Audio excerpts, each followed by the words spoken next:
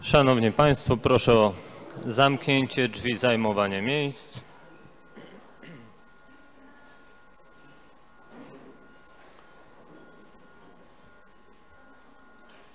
Rozpoczynamy sesję Rady Miejskiej w dniu 19 grudnia 2019 roku. Serdecznie witam Państwa prezydentów, Panią Skarbnik, Panie i Panów Radnych, wszystkich Państwa urzędników. Witam serdecznie mieszkańców, tych, którzy obserwują nasze obrady za pośrednictwem transmisji internetowej. Witam przedstawicieli mediów. Przejdziemy do stwierdzenia kworum. Bardzo proszę o potwierdzenie swojej obecności.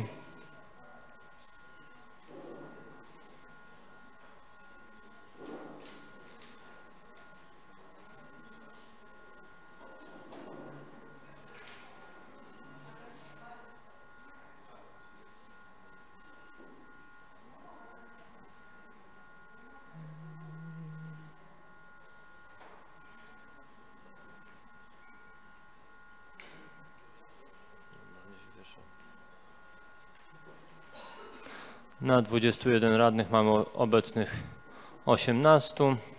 Stwierdzam zatem, że mamy kworum do podejmowania decyzji.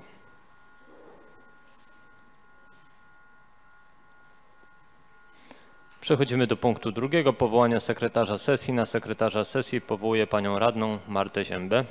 Bardzo proszę.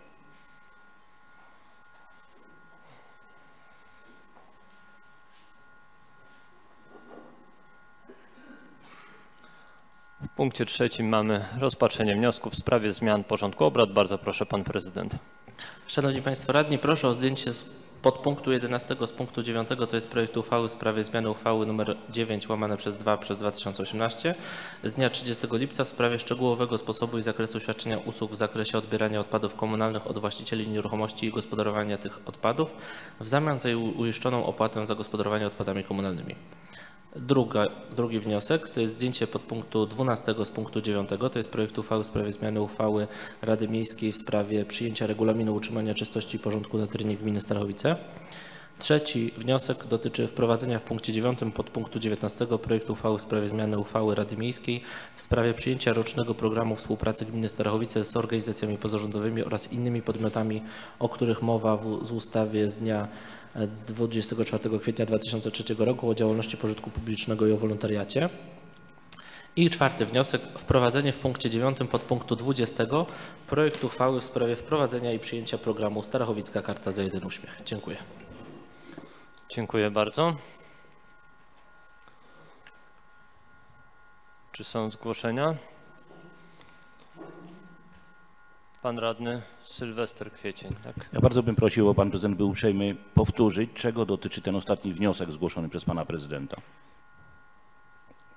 Ostatni wniosek dotyczy programu Karta za jeden uśmiech, który rozszerzamy o sąsiednie gminy. Przed głosowaniem chciałbym zapytać, czy jest przygotowana wiedza jakaś dla radnych, informacja, ile ten program będzie gminę kosztował w następnym roku, w kolejnych, czy to jest bezkosztowo.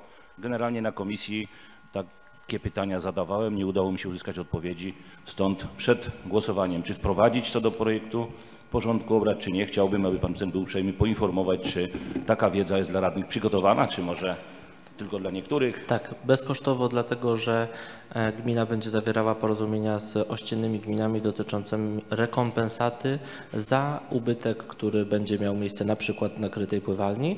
E, przy czym e, ta karta została wydana w 150 egzemplarzach, więc myślę, że będą to nieduże koszty dla sąsiednich gmin. Przepraszam bardzo, bo znowu nie zrozumiałem. Została już wydana, to już funkcjonuje? Karta funkcjonuje już dla mieszkańców gminy Starachowice i nie stanowi to dla nas dużego wydatku, dlatego że jest wydana dla około 150 osób. Natomiast e, w przypadku sąsiednich gmin pewnie będzie to jeszcze mniejsza ilość osób, więc ta rekompensata też zapewne będzie nieduża. Dziękuję bardzo. Nie widzę więcej zgłoszeń. Przechodzimy zatem do głosowania. Pierwszy wniosek dotyczy zdjęcia z porządku obrad projektu uchwały w sprawie zmian w sprawie zmian uchwały w sprawie szczegółowego sposobu i zakresu świadczenia usług w zakresie odbierania odpadów komunalnych od właścicieli nieruchomości i zagospodarowania tych odpadów. Przechodzimy do głosowania. Proszę bardzo.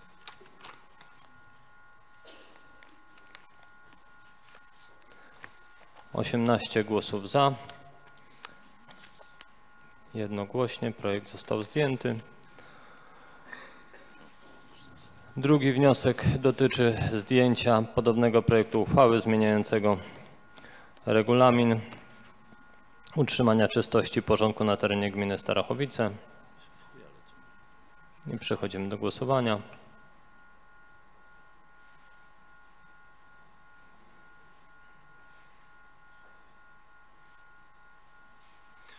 Osiemnaście głosów za.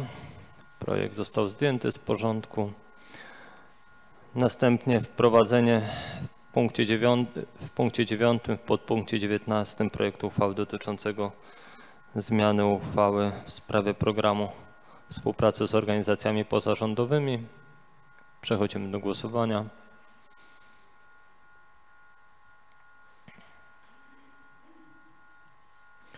Osiemnaście głosów za. Jednogłośnie projekt wprowadzony do porządku. I również w punkcie 9, w punkcie 20 wniosek o wprowadzenie projektu uchwały dotyczącego e, rozszerzenia tego programu Starachowicka Karta za jeden uśmiech.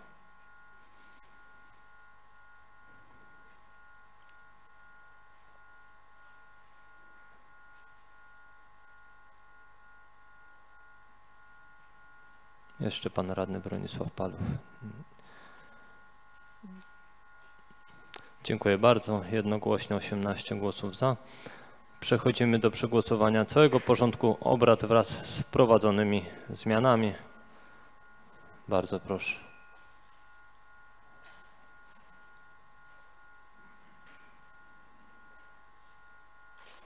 Osiemnaście głosów za.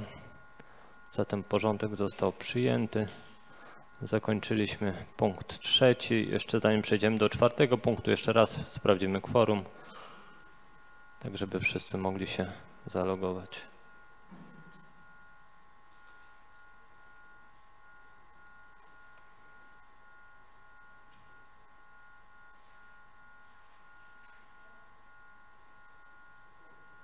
Jeszcze raz proszę kworum wcisnąć.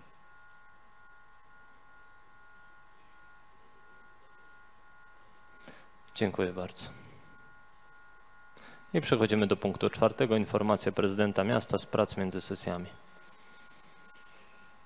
Szanowni Państwo Radni, przedstawiam sprawozdanie ze sprzedaży oraz nabycia nieruchomości przez gminę Starowice w okresie od 28 listopada do 18 grudnia.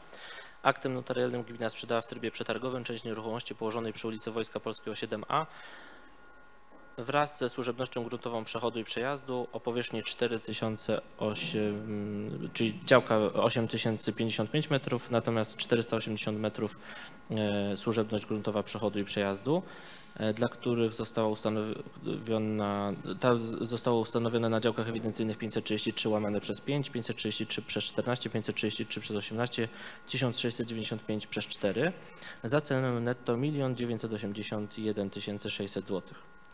Sprzedaż nieruchomości w trybie bezprzetargowym. Aktem notarialnym gmina Starowice sprzedała w trybie bezprzetargowym nieruchomość gruntową położoną w Starowicach przy ulicy Turystycznej o powierzchni 131 metrów w celu poprawienia warunków zagospodarowania nieruchomości przyległej oznaczonej jako działka 82 przez 4 z uwzględnieniem przysługującej bonifikaty 70% za cenę netto 6000 zł. Wykup nieruchomości. Gmina Strachowice wykupiła od osób fizycznych lokal mieszkalny numer 8 położony przy ulicy Robotniczej 6 o powierzchni 37 m2 za cenę, za cenę 60 tysięcy złotych. Przedstawiam także sprawozdanie z prac w okresie od 30 listopada do 18 grudnia. W minionym okresie czasu odbyłem trzy posiedzenia Kolegium Prezydenta Miasta, wydałem 36 zarządzeń Prezydenta Miasta, przyjąłem 18 interesantów. 30 listopada uczestniczyłem w zjeździe harcerzy Chówca ZHP. Podziękowaliśmy podczas tego spotkania harcmistrzyni Małgorzacie Ślaskiej, która przez 10 ostatnich lat szefowała strachowickim harcerzom. Nową komendantką Chówca została harcmistrzyni Dorota Hyczewska. 2 grudnia wspólnie z moją zastępczynią Ewą Skibą uczestniczyliśmy w spotkaniu konsultacyjnym dotyczą- dotyczącym wprowadzenia strefy płatnego parkowania obejmujące ulicę Stanisława Dibuła, Nową, Adama Mickiewicza. Spotkanie na wniosek przewodniczącego Rady Miejskiej Michała Walędzika odbyło się w szkole podstawowej nr 1. 3 grudnia ruszyła budowa trzech budynków wielorodzinnych, łącznie 60 mieszkań powstanie przy ulicy Marszałka Józefa Piłsudskiego. Koszt budowy to 11 milionów 741 tysięcy złotych. Tego samego dnia wizytowałem zakończone inwestycje drogowe, ulicę Żytnią i Podlesie. Moja zastępczyni Ewa Skiba wzięła udział w konferencji zorganizowanej z okazji Światowego Dnia Walki z AIDS. Od 4 do 6 grudnia moja zastępczyni Aneta Nasternak uczestniczyła w wyjeździe studyjnym do Mołdawii. Głównym punktem wizyty była konferencja zamykająca projekt pod nazwą Wspieranie administracji Mołdawii w realizacji Narodowej Strategii Rozwoju Regionalnego dla Mołdawii 2016-2020 w obszarze polityki miejskiej i rozwoju miast. Od 6 do 7 grudnia wspólnie z moją zastępczynią Ewą Skibą przebywaliśmy z wizytą studyjną w Portugalii. Wizyta zorganizowana została w ramach programu Unii Europejskiej Europa dla Obywateli. 8 grudnia miałem przyjemność nagrodzić zwycięzców kickbokserskich Mistrzostw Polski w formule Oriental Rules, które odbyły się w miejskiej hali sportowej. Tego samego dnia wziąłem udział w spotkaniu podsumowującym akcję Szlachetna Paczka w Starachowicach. Uczestniczyło w niej 31 wolontariuszy, obdarowano 46 rodzin. Paczki przygotowano, przygotowywało 1881 osób, a wartość wszystkich paczek to ponad 113 tysięcy złotych. 9 grudnia najpierw spotkałem się w sali Olimpia ze słuchaczami UTW, a następnie w Agencji Rozwoju Regionalnego z mieszkańcami i współpracownikami. Podczas tych spotkań podsumowałem 5 lat pracy na rzecz miasta. 10 grudnia spotkałem się z uczestnikami wizyty studyjnej samorządowców oraz przedstawicieli organizacji pozarządowych z gmin Białobrzegi, Przysłucha, Jastrząb, Radzanów, Adamów. Nasi goście podczas wizyty odwiedzili m.in. spółdzielnię socjalną Starachowiczanka oraz spółdzielnię Agawa. Tego samego dnia wizytowałem inwestycje przy ulicy Krańcowej, gdzie trwają prace przy przebudowie kanalizacji deszczowej. Planujemy wykonanie nowej nawierzchni ulicy z betonu asfaltowego, nowych nawierzchni chodników, zjazdów, dwóch zatok autobusowych, wykonanie oświetlenia oraz około 90 miejsc postojowych dla samochodów osobowych i ciężarowych oraz ścieżki rowerowej. Prace potrwają do czerwca przyszłego roku. Ich koszt to 5 milionów 392 tysiące złotych.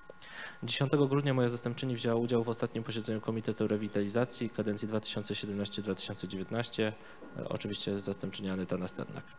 12 grudnia moja zastępczyni Aneta Nasternak uczestniczyła w zorganizowanej w Kielcach konferencji Perspektywa finansowa Unii Europejskiej na lata 2021-2027 szansą na rozwój regionów Polski Wschodniej.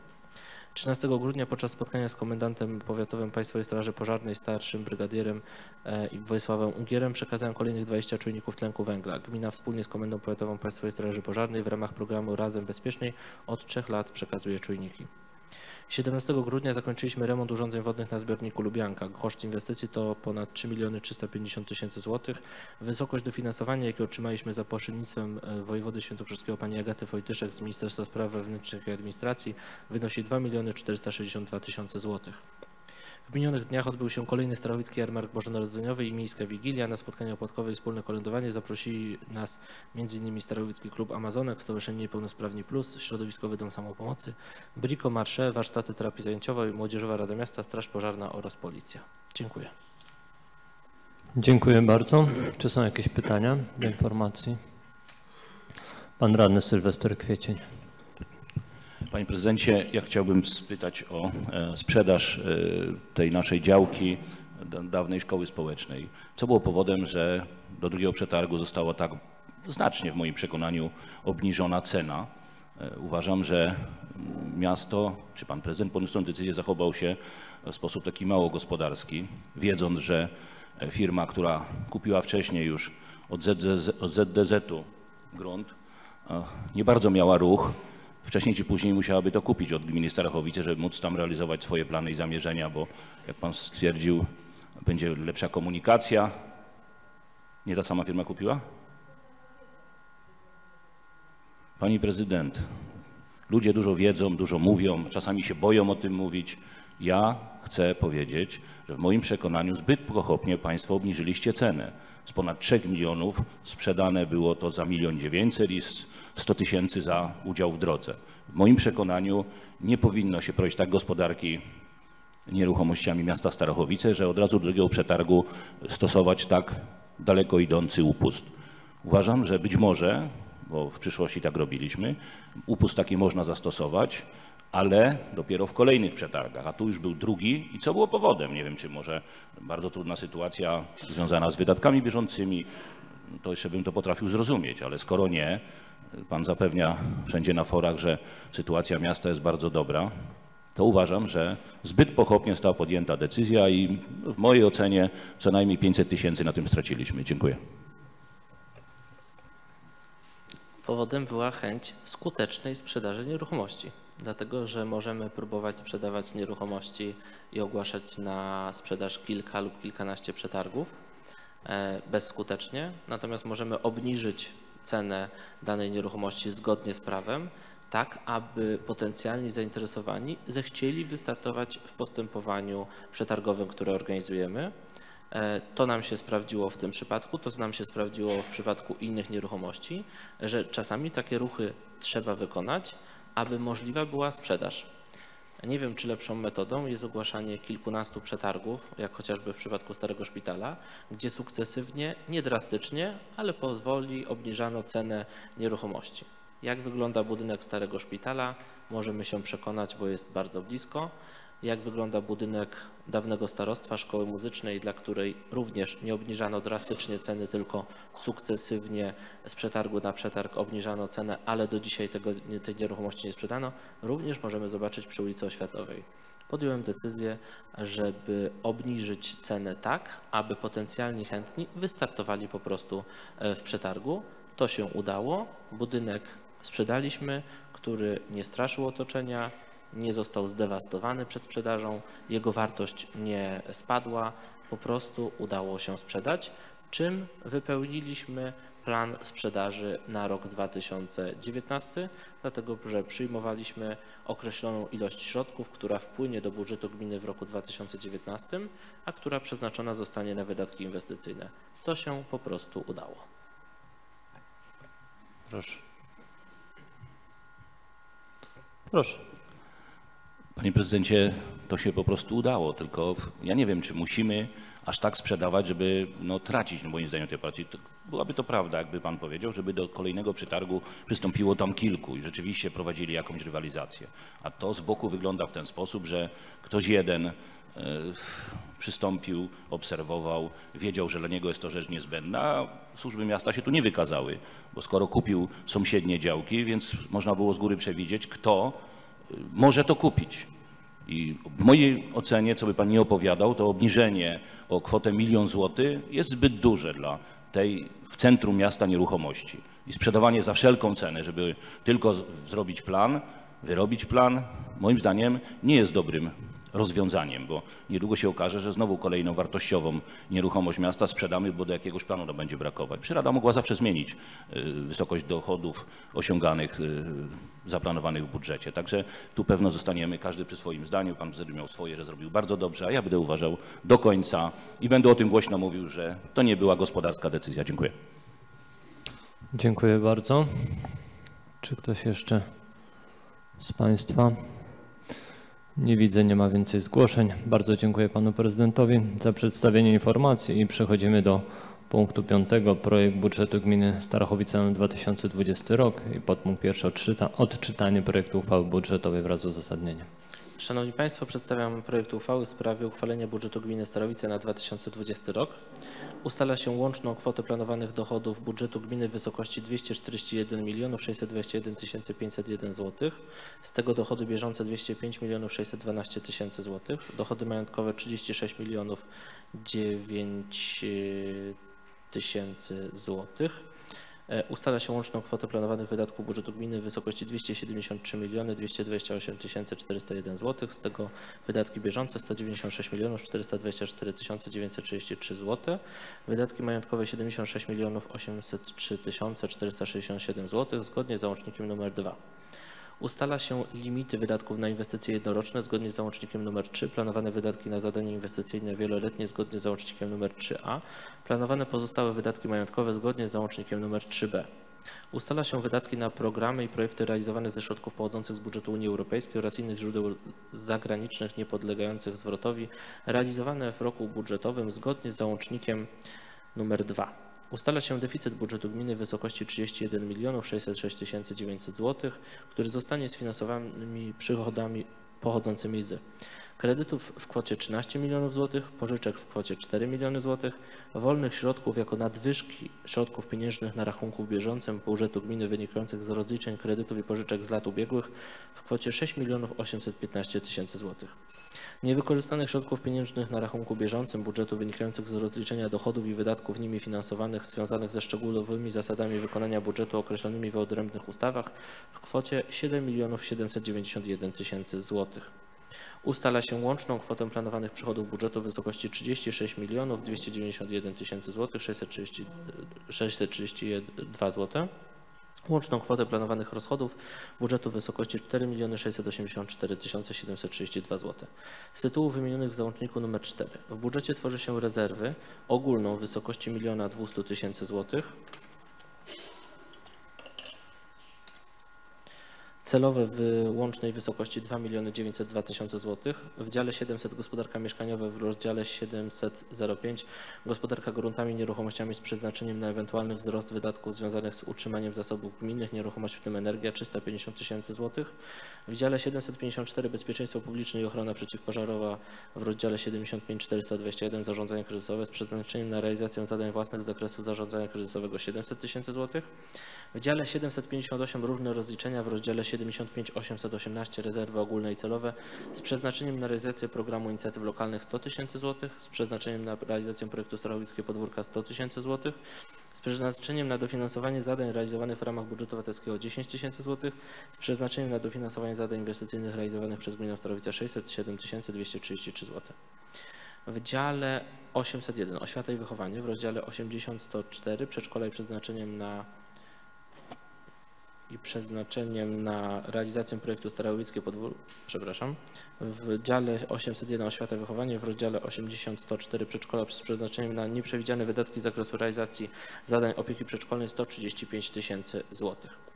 W dziale 853 pozostałe zadania w zakresie polityki społecznej, w rozdziale 85-395 pozostała działalność przeznaczeniem na wydatki związane z realizacją programów finansowanych z udziałem środków, o których mowa w artykule 5 ust. 1 punkt 2 ustawy o finansach publicznych dotyczy Miejskiego Ośrodka Pomocy Społecznej 50 tysięcy złotych. W dziale 900 Gospodarka Komunalna i Ochrona Środowiska, w rozdziale 915 Oświetlenie ulic, placów i dróg z przeznaczeniem na ewentualny wzrost wydatków związanych z oświetleniem miasta 500 tysięcy złotych. W dziale 926 Kultura fizyczna, w rozdziale 92 601 Obiekty sportowe z przeznaczeniem na ewentualny wzrost wydatków na utrzymanie nieruchomości będących w zarządzie Miejskiego Ośrodka Sportu i Rekreacji, w tym energia 350 tysięcy złotych. Dochody związane z realizacją zadań z zakresu administracji rządowej i innych zadań zleconych odrębnymi ustawami zgodnie z załącznikiem nr 5 oraz wydatki związane z realizacją zadań z zakresu administracji rządowej i innych zadań zleconych odrębnymi ustawami zgodnie z załącznikiem nr 5a.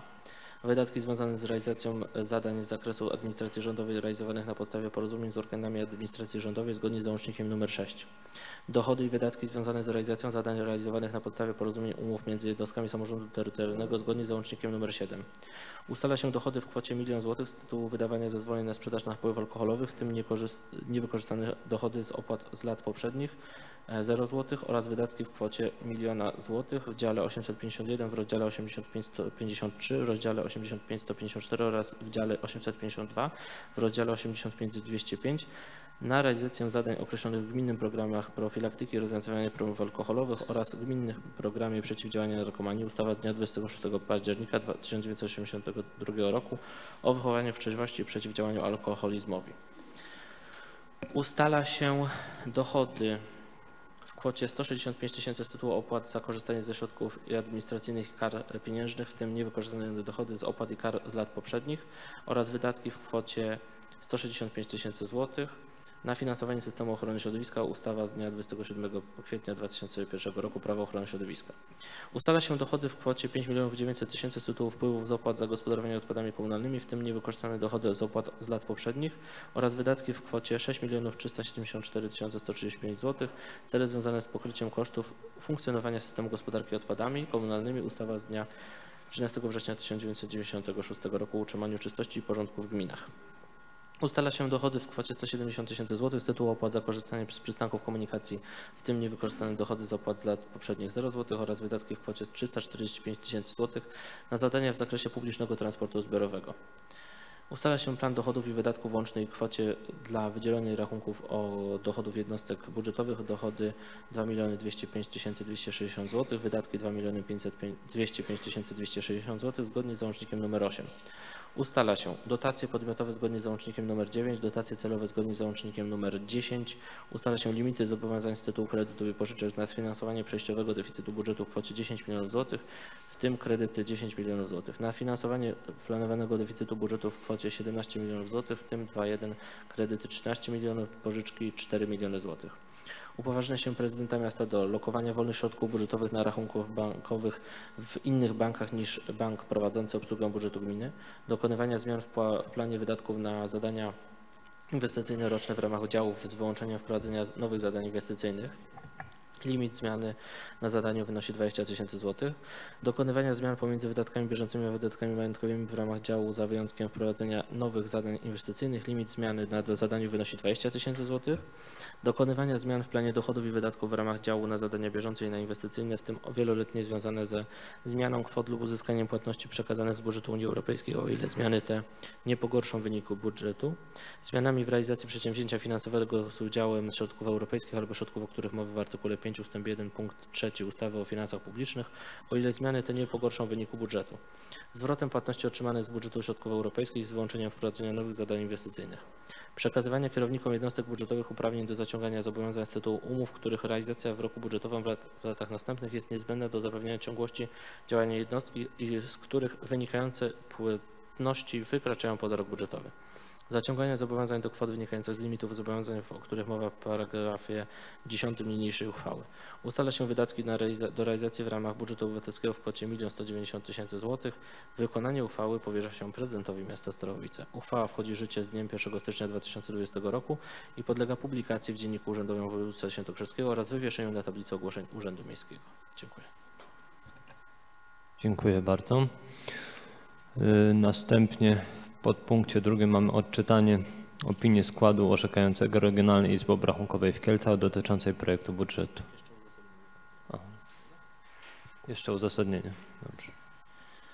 Planowane dochody ogółem budżetu gminy Starachowice na 2020 rok wynoszą 241 milionów 621 tysięcy 501 zł, w tym dochody bieżące 2 mi- 205 milionów 612 tysięcy, dochody majątkowe 36 milionów 9 tysięcy.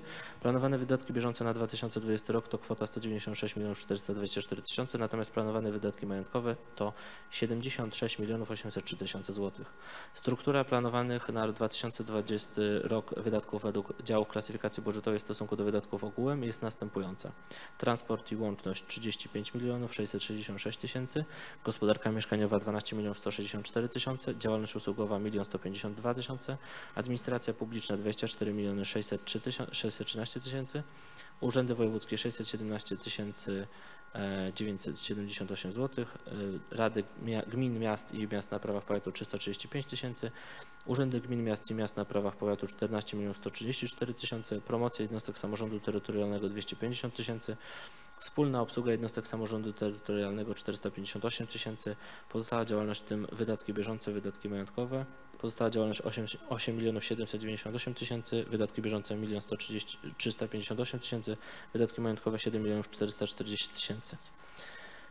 Bezpieczeństwo publiczne i ochrona przeciwpożarowa 2 miliony 207 tysięcy, y, obsługa długu publicznego 1 450 tysięcy, różne rozliczenia 2 miliony 17 tysięcy, oświata i wychowanie 49 milionów 412 tysięcy, ochrona zdrowia 1 50 tysięcy, pomoc społeczna 17 milionów 982 tysiące, pozostałe zadania w zakresie polityki społecznej 16 milionów 220 tysięcy, edukacyjna opieka wychowawcza 1 835 tysięcy, rodzina 59 milionów 256 tysięcy, Gospodarka komunalna i ochrona środowiska 36 milionów 110 tysięcy, kultura i ochrona dziedzictwa narodowego 3 miliony 590 tysięcy, kultura fizyczna 8 milionów 4 osiem- 486 tysięcy, rolnictwo, łowiectwo 10 946 zł. Razem 273 miliony 228 tysięcy 401 zł 45 groszy.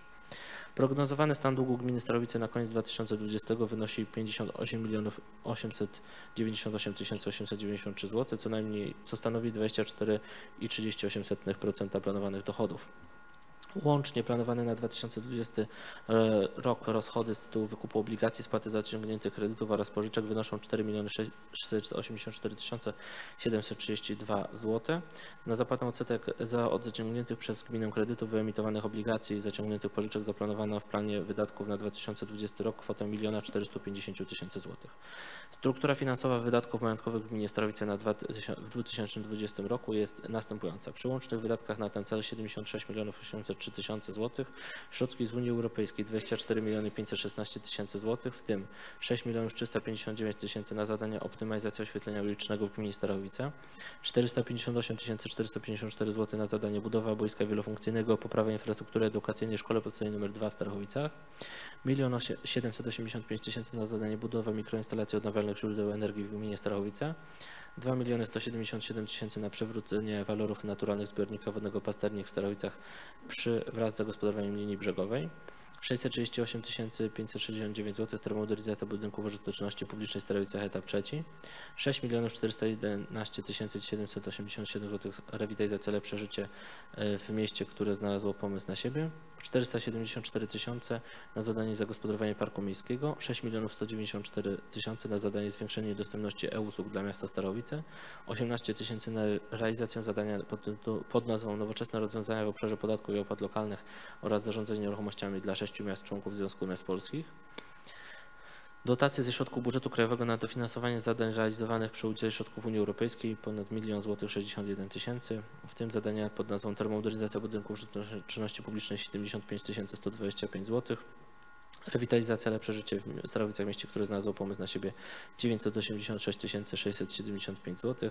Planowane wpłaty mieszkańców Starachowic uczestniczących w projekcie budowy mikroinstalacji, mikroinstalacji odnawialnych źródeł energii w gminie Starachowice 1 416 tysięcy zł. Przychody gmin z niewykorzystanych środków e, pieniężnych na rachunku bieżącym budżetu wynikających z rozliczenia dochodów i wydatków nimi finansowanych związanych ze szczegółowymi zasadami wykonania budżetu określonymi w odrębnych ustawach dotyczy środków otrzymanych z Funduszu Dróg Samorządowych na dofinansowanie zadań zadania pod nazwą budowa odcinka ulicy Moniuszki od ulicy 6 września do ulicy Kieleckiej w Starowicach kwota 4 401 tysięcy złotych oraz zadania przebudowa ulicy Karańcowej w Starowicach kwota 3 139 tysięcy. Planowane środki z Banku Gospodarstwa Krajowego ze środków Funduszu Dopłat na dofinansowanie zadania pod nazwą budowa, przebudowa budynku wielorodzinnego zlokalizowanego w Starowicach przy ulicy Mickiewicza 10 312 163 zł. Kwota finansowego wsparcia nie może przekroczyć 50% faktycznie poniesionych kosztów przedsięwzięcia. Dofinansowanie do zadań pod nazwą opracowanie dokumentacji projektowo-kosztorysowej ulicy Ustronie w Starowicach wynosi 9963 zł. Zadanie realizowane w ramach programu inicjatyw lokalnych.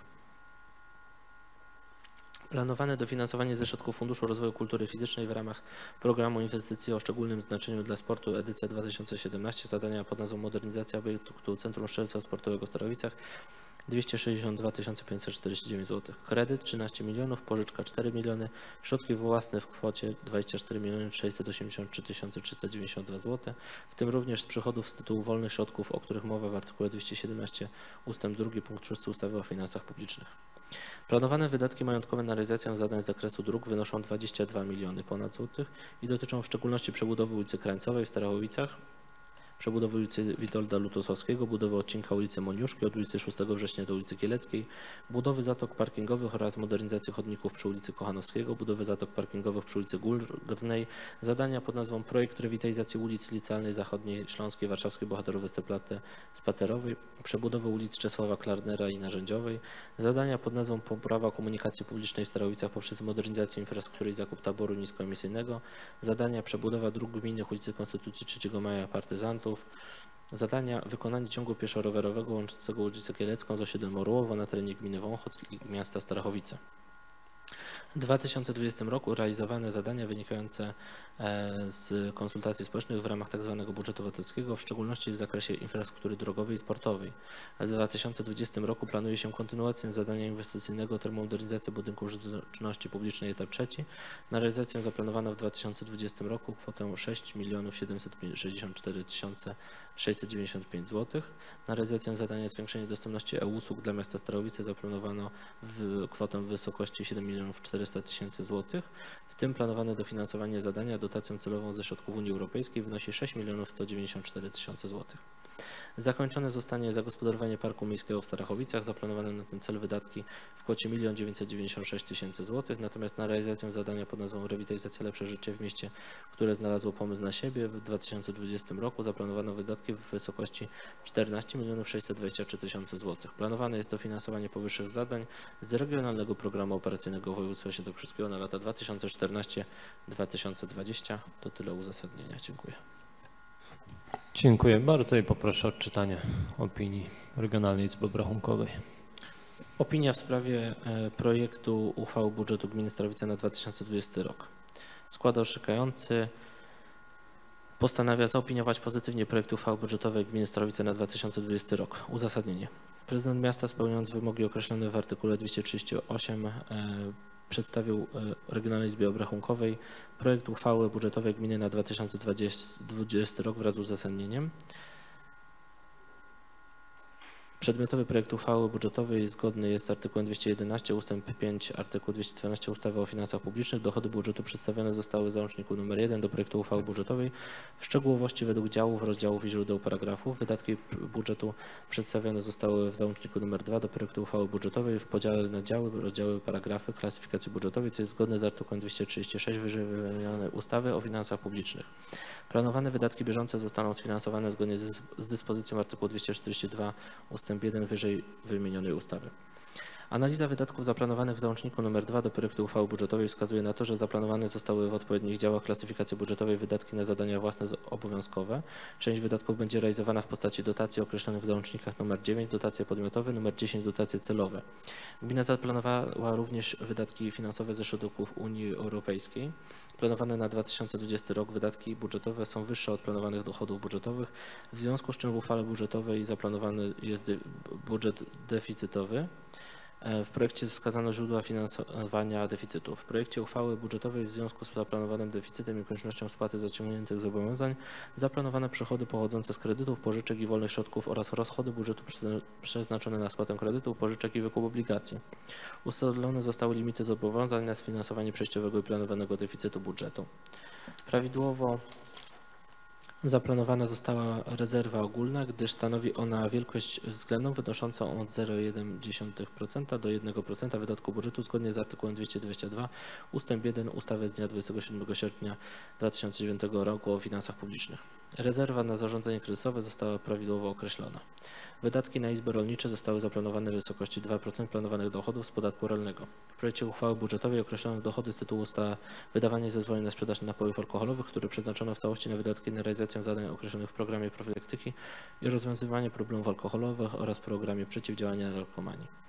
Zaplanowano także dochody z tytułu opłat określonych w ustawie Prawo ochrony środowiska oraz wydatki na realizację zadań określonych w wyżej wymienionej ustawie, a także dochody z tytułu opłat za gospodarowanie odpadami komunalnymi i wydatki na funkcjonowanie systemu gospodarowania odpadami komunalnymi.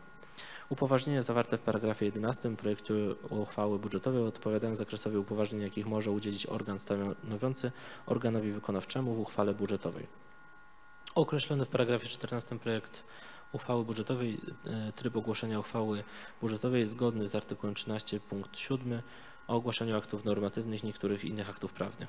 W związku z tym, że skład materiałów do, dołączonych do projektu uchwały budżetowej na 2020 rok wchodzi projekt uchwały w sprawie wieloletniej prognozy finansowej na rok 2020 i lata następne, skład orzekający dokonał porównania wartości przyjętych w obu projektach. Stosownie do artykułu 229 ustawy o finansach publicznych wartości przyjęte w przedłożonym projekcie budżetu w zakresie wyniku i budżetu związanych z nim kwot przychodów i rozchodów są zgodne z wartościami przyjętymi w wieloletniej prognozie finansowej na 2020 rok. Reasumując powyższe, skład orzekający postanowił jak w sentencji. Dziękuję bardzo i poproszę o odczytanie opinii dotyczącej możliwości sfinansowania deficytu budżetu. Skład orzekający Regionalnej Izby Obrachunkowej w sprawie możliwości sfinansowania deficytu budżetu planowanego na, w projekcie uchwały budżetowej miasta Starowice na 2020 rok po rozpoznaniu projektu uchwały budżetowej na 2020 rok przedstawionej przez prezydenta miasta Starowice postana uchwala co następuje. Gmina Starowice ma możliwość sfinansowania planowanego w projekcie uchwały budżetowej na 2020 rok. Deficytu budżetu w kwocie 30 milionów 561 277 zł 16 groszy. Uzasadnienie w projekcie uchwały budżetowej miasta Starowice na 2020 rok. Zaplanowano dochody budżetowe w kwocie 241 milionów 621 tysięcy, wydatki budżetowe w kwocie sie- 272 miliony 182 tysiące, deficyt budżetu 2020 roku w wysokości 30 milionów 561 tysięcy, zaplanowany zgodnie z dyspozycją artykułu 217 ust. 1 ustawy o finansach publicznych jako różnica między dochodami a wydatkami budżetu będzie sfinansowany przychodami pochodzącymi z zaciągniętych kredytów i pożyczek, wolnych środków jako nadwyżki środki, środków pieniężnych na rachunku bieżącym budżetu gminy wynikających z rozliczeń kredytów i pożyczek z lat ubiegłych. Niewykorzystanych środków pieniężnych na rachunku bieżącym budżetu wynikających z rozliczeń dochodów i wydatków nimi finansowanych związanych ze szczególnymi zasadami wykonania budżetu określonymi w odrębnych ustawach oraz wynikających z rozliczania środków określonych w artykule 5 ust. 1 punkt 2 i dotacji na realizację programu, projektu lub zadania finansowanego z udziałem tych środków, co wynika z paragrafu 3 projektu uchwały budżetowej. Skład orzekający podkreśla, że w załączniku nr 4 przychody i rozchody budżetu występuje paragraf 905 przychody jednostek samorządu terytorialnego z niewykorzystanych środków pieniężnych na rachunku bieżącym budżetu wynikających z rozliczeń dochodów i wydatków nimi finansowanych związanych ze szczególnymi zasadami wykonania budżetu określonymi w odrębnych ustawach w kwocie 7 milionów 791 tysięcy złotych. Jednocześnie skład orzekający zaznacza, że w paragrafie trzeciej treści normatywnej projektu uchwały budżetowej nie wykazano całej kwoty przychodów pochodzących z niewykorzystanych środków pieniężnych na rachunku bieżącym budżetu wynikających z rozliczeń dochodów i wydatków nimi finansowanych związanych ze szczególnymi zasadami wykonania budżetu określonymi w odrębnych ustawach jako źródło pokrycia deficytu budżetu. Jak wskazuje nazwa, paragraf 905, środki te w całości powinny być przeznaczone na wydatki, czyli na finansowanie planowanego deficytu w związku z realizacją przez miasto wydatków wynikających ze, szczegół, ze szczególnych ustaw. Wskazane w projekcie uchwały budżetowej miasta Starowice źródła przychodów finansowych, przychodów finansujących deficyt budżetowy określone są w artykułach 217 ust. 2 punkt 2, 3, 6 i 8 ustawy o finansach publicznych. Przychody z tytułu kredytów i pożyczek uwzględnione w limicie zobowiązań przewidzianych do zaciągnięcia na sfinansowanie planowanego deficytu określono w paragrafie 10 projektu uchwały budżetowej planowane na, są na realizację wydatków inwestycyjnych. Reasumując powyższe ustalenia, skład orzekający stwierdza możliwość sfinansowania deficytu zaplanowanego w projekcie uchwały budżetowej miasta Starowice na 2020 rok. Dziękuję. Dziękuję bardzo. I przechodzimy do kolejnego podpunktu. To jest odczytanie opinii i wniosków stałych Komisji Rady Miejskiej o projekcie budżetu.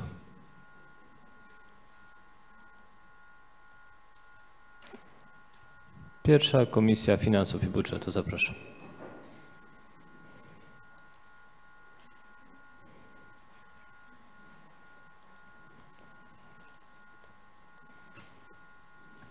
Panie Przewodniczący, Państwo i Panie, Panie i Panowie Radni, Panie Prezydencie, odczytam opinię Komisji Finansów i Budżetu Rady Miejskiej w Starachowicach o projekcie uchwały budżetowej Gminy Starachowice na 2020 rok.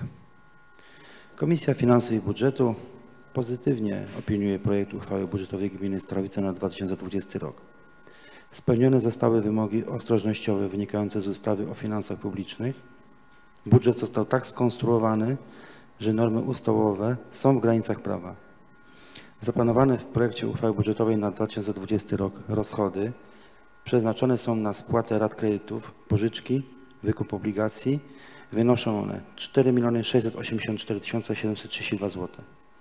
Natomiast planowane w 2020 roku wydatki na obsługę długu, odsetki wynoszą 1 450 tysięcy, co stanowi 2,54% dochodów ogółem. Kwota zadłużenia z tytułu zaciągniętych kredytów, pożyczek, emisji obligacji i płatności rozłożonych na raty na koniec 2020 roku stanowi 24,38% planowanych na 2020 rok dochodów budżetu gminy. Zdaniem Komisji projektowany plan dochodów jest realny. Planuje się, że w 2020 roku będą realizowane i kontynuowane projekty inwestycyjne, które pozytywnie wpłyną na warunki życia mieszkańców, jak również wizerunek miasta. W szczególności zadania drogowe i z zakresu infrastruktury sportowej. Planowane wydatki majątkowe na 2020 rok stanowią 27,61% wydatków ogółem. Mimo trudnych uwarunkowań budżet 2020 jest budżetem kontynuacji realizowanego programu inwestycyjnego. Wobec planowanych zamierzeń inwestycyjnych uzasadnione jest zaciągnięcie w 2020 roku kredytu długoterminowego oraz pożyczki. W wydatkach na rok 2020 zostały ujęte projekty wyłonione przez głosowanie mieszkańców w ramach tzw. budżetu obywatelskiego. Komisja stwierdza, że w projekcie budżetu gminy Starachowice na 2020 rok zostały zapewnione środki finansowe na realizację obowiązkowych zadań własnych gminy. W projekcie uchwały budżetowej określono dochody z tytułu wydawania zezwoleń na sprzedaż napojów alkoholowych, które przeznaczono w całości na wydatki na realizację zadań określonych w programie profilaktyki i rozwiązywania problemów alkoholowych, w programie przeciwdziałania narkomanii oraz na zadania z zakresu przeciwdziałania przemocy w rodzinie. Dochody z tytułu opłat określonych w ustawie z dnia 27 kwietnia 2001 roku Prawo ochrony środowiska oraz wydatki na realizację zadań określonych w wyżej wymienionej ustawie. Dochody z tytułu wpływów z opłat zagospodarowania odpadami komunalnymi i wydatki na funkcjonowanie systemu gospodarowania tymi odpadami stosownie do uregulowań zawartych w ustawie z dnia 13 września 1996 roku o utrzymaniu czystości i porządku w gminach. Z uwagi na indywidualny wskaźnik zadłużenia i zamierzenie inwestycyjne, jak również zmiany w finansowaniu gmin i wzrost niezależnych od gmin wydatków bieżących, wskazane są dalsze działania racjonalizujące poziom wydatków bieżących. Reasumując, Komisja Finansów i Budżetu pozytywnie opiniuje projekt uchwały budżetowej gminy Starachowice na 2020 rok i wnosi o jego przyjęcie. Dziękuję bardzo. Dziękuję bardzo. Zapraszam przewodniczącego Komisji Gospodarczej.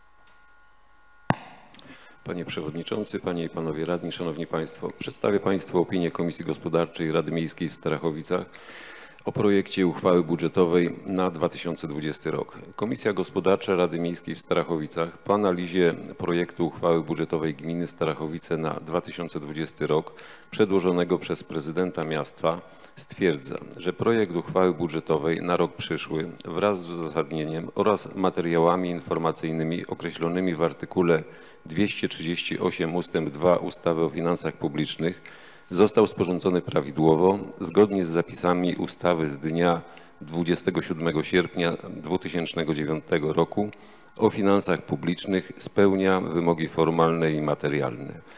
W założeniach projektu budżetu spełniony został wymóg z artykułu 242 ustawy o finansach publicznych, zgodnie z którym planowane wydatki bieżące są niższe niż planowane dochody bieżące. Projekt planu dochodów budżetowych na rok przyszły jest realny. Zamierzenia inwestycyjne są planowane w poszczególnych częściach miasta, mają zrównoważony charakter. Komisja zauważa, że przy planowaniu inwestycji priorytet mają te inwestycje, które mogą być realizowane przy udziale środków zewnętrznych. To jest w szczególności przy dofinansowaniu dotacjami celowymi z budżetu państwa, dotacjami ze środków Unii Europejskiej oraz inwestycje drogowe, jak również inwestycje w zakresie infrastruktury sportowej.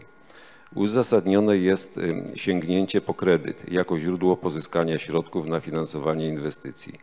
W przyszłym roku planuje się realizację łącznie 47 inwestycji rocznych i wieloletnich oraz remonty dróg, parkingów, ciągów pieszych, chodników.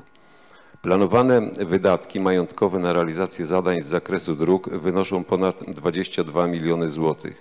Natomiast na budownictwo mieszkaniowe planuje się 4,5 miliona złotych.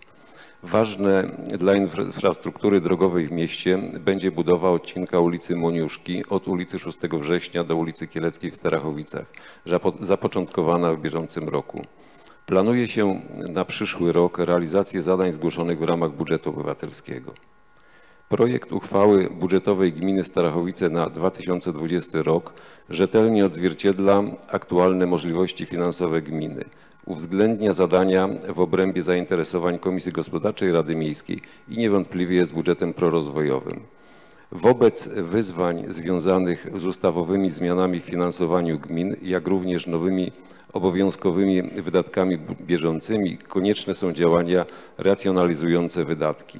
Reasumując, Komisja Gospodarcza Rady Miejskiej w Starachowicach pozytywnie opiniuje projekt uchwały budżetowej gminy Starachowice na 2020 rok. Dziękuję bardzo. Dziękuję bardzo. Zapraszam panią przewodniczącą Komisji Edukacji.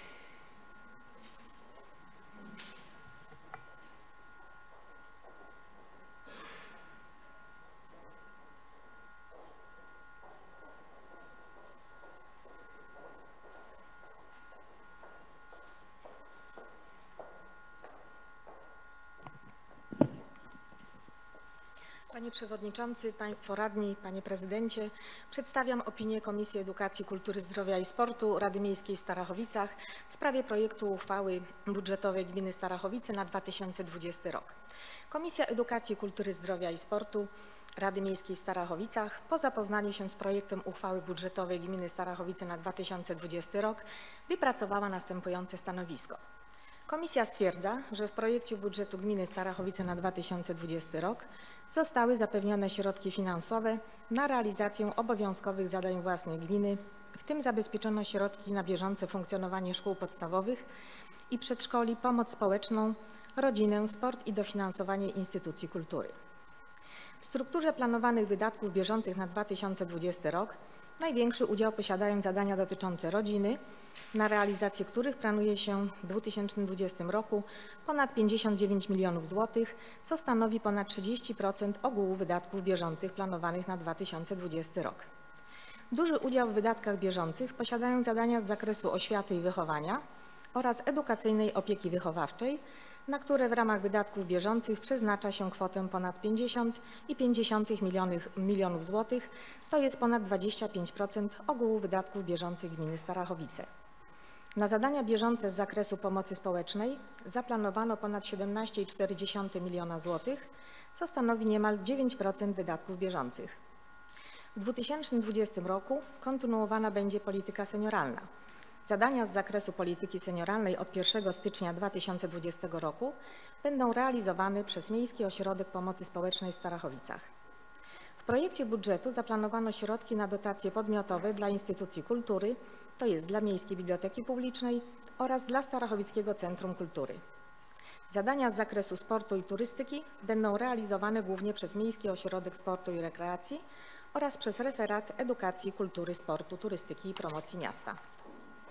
W projekcie budżetu zaplanowano również środki finansowe na realizację potrzeb społecznych poprzez organizacje pozarządowe, stowarzyszenia działające w sferze kultury, kultury fizycznej, sportu i turystyki oraz na wspieranie rozwoju tych sfer działalności publicznej. Komisja Edukacji, Kultury, Zdrowia i Sportu wyraża akceptację dla przedłożonego projektu uchwały budżetowej gminy Starachowice na 2020 rok. Dziękuję. Dziękuję bardzo. I przechodzimy do podpunktu piątego. Odczytanie stanowiska prezydenta miasta do opinii wniosków Komisji Rady Miejskiej o projekcie budżetu. Szanowni Państwo Radni, odnosząc się do stanowiska Komisji Finansów i Budżetu Rady Miejskiej, y, Komisja wskazała na konieczność kontynuacji działań oszczędnościowych w zakresie wydatków bieżących. Takie działania już przedstawiłem Państwu radnym w autopoprawkach do projektu budżetu, to jest zmniejszenie środków na wynagrodzenia i pochodne od wynagrodzeń w administracji, zmniejszenie środków na politykę informacyjną i szkolenia pracowników. Odnosząc się do opinii Komisji Gospodarczej Rady Miejskiej, Zgadzam się ze stanowiskiem Komisji, że wobec wyzwań związanych z ustawowymi zmianami w finansowaniu gmin, jak również nowymi obowiązkami ze wydatkami bieżącymi, konieczne są działania racjonalizujące wydatki. Propozycje działań oszczędnościowych zostały przedstawione przeze mnie w autopoprawkach do projektu budżetu i dotyczą tego, o czym wspomniałem wcześniej. Odnosząc się do stanowiska Komisji Edukacji, Kultury, Zdrowia i Sportu, Pragnę nadmienić, że w celu podniesienia jakości świadczonych usług społecznych w zakresie oświaty, kultury, kultury fizycznej będę nadal dokonywał starań w celu pozyskania środków zewnętrznych na ich dofinansowanie. Dziękuję. Dziękuję bardzo. I przechodzimy do podpunktu szóstego. Debata, w tym dyskusja nad wniesionymi poprawkami do budżetu i ich przegłosowanie. Pan radny Krzysztof Różycki. Panie prezydencie, e, czytając ten projekt budżetu, Zdaję sobie sprawę z tego, że został opracowany na e, możliwości finansowe gminy. Niemniej jednak e, presja mieszkańców e, w regionie, w którym mieszkam, spowodowała, że muszę zabrać głos na temat trzech zadań inwestycyjnych, które nie znalazły się w tym budżecie. Mieszkańcy osiedla Żeromskiego z uporem maniaka upominają się o budowę ulicy Słonecznej, która wiemy w centrum miasta jest zlokalizowana i jest w fatalnym stanie. Podobna sytuacja jest z ulicą Zacisze. Jako mały chłopiec mieszkający na Żeromskiego chodziliśmy z kolegami do lasu tą uliczką i doskonale pamiętam, w ogóle nie zmieniła się ta ulica. Lata 50., 60., 70. i do dziś identycznie ta ulica wygląda. Dlatego prośba jest, żeby uwzględnić także być może w roku 2021 mm, y, tą inwestycję. I trzecia sprawa to pasaż y, przy, y, na osiedlu Skarpa. Pasaż, który miał być wybudowany w trzech etapach. Pierwszy etap od PZU do ulicy Czerwonego Krzyża został zrealizowany. Pięknie wygląda, mieszkańcy są zadowoleni, ale mieszkańcy liczyli, bo takie były zapewnienia, że w kolejnych latach będą y, kolejne etapy realizowane. No niestety tak się nie stało. Zdaję sobie sprawę z tego, że bariera jest finansowa. Niemniej jednak, tak jak powiedziałem, z uporem maniaka będę przypominał o tych inwestycjach. Dlatego bardzo pana proszę, panie prezydencie, w miarę posiadanych środków, aby pan pamiętał o tych inwestycjach. Dziękuję. Dziękuję bardzo. Pan radny Dariusz Lipiec. Panie Przewodniczący, Państwo Prezydenci, Wysoka Rado, w imieniu Klubu Radnych Prawa i Sprawiedliwości chciałem się odnieść do uchwały budżetowej. Z informacji uzyskanych podczas Komisji Edukacji wiem, że po wprowadzeniu autopoprawek projekt budżetu nie został odesłany do opinii, ponownej opinii Regionalnej Izby Obrachunkowej.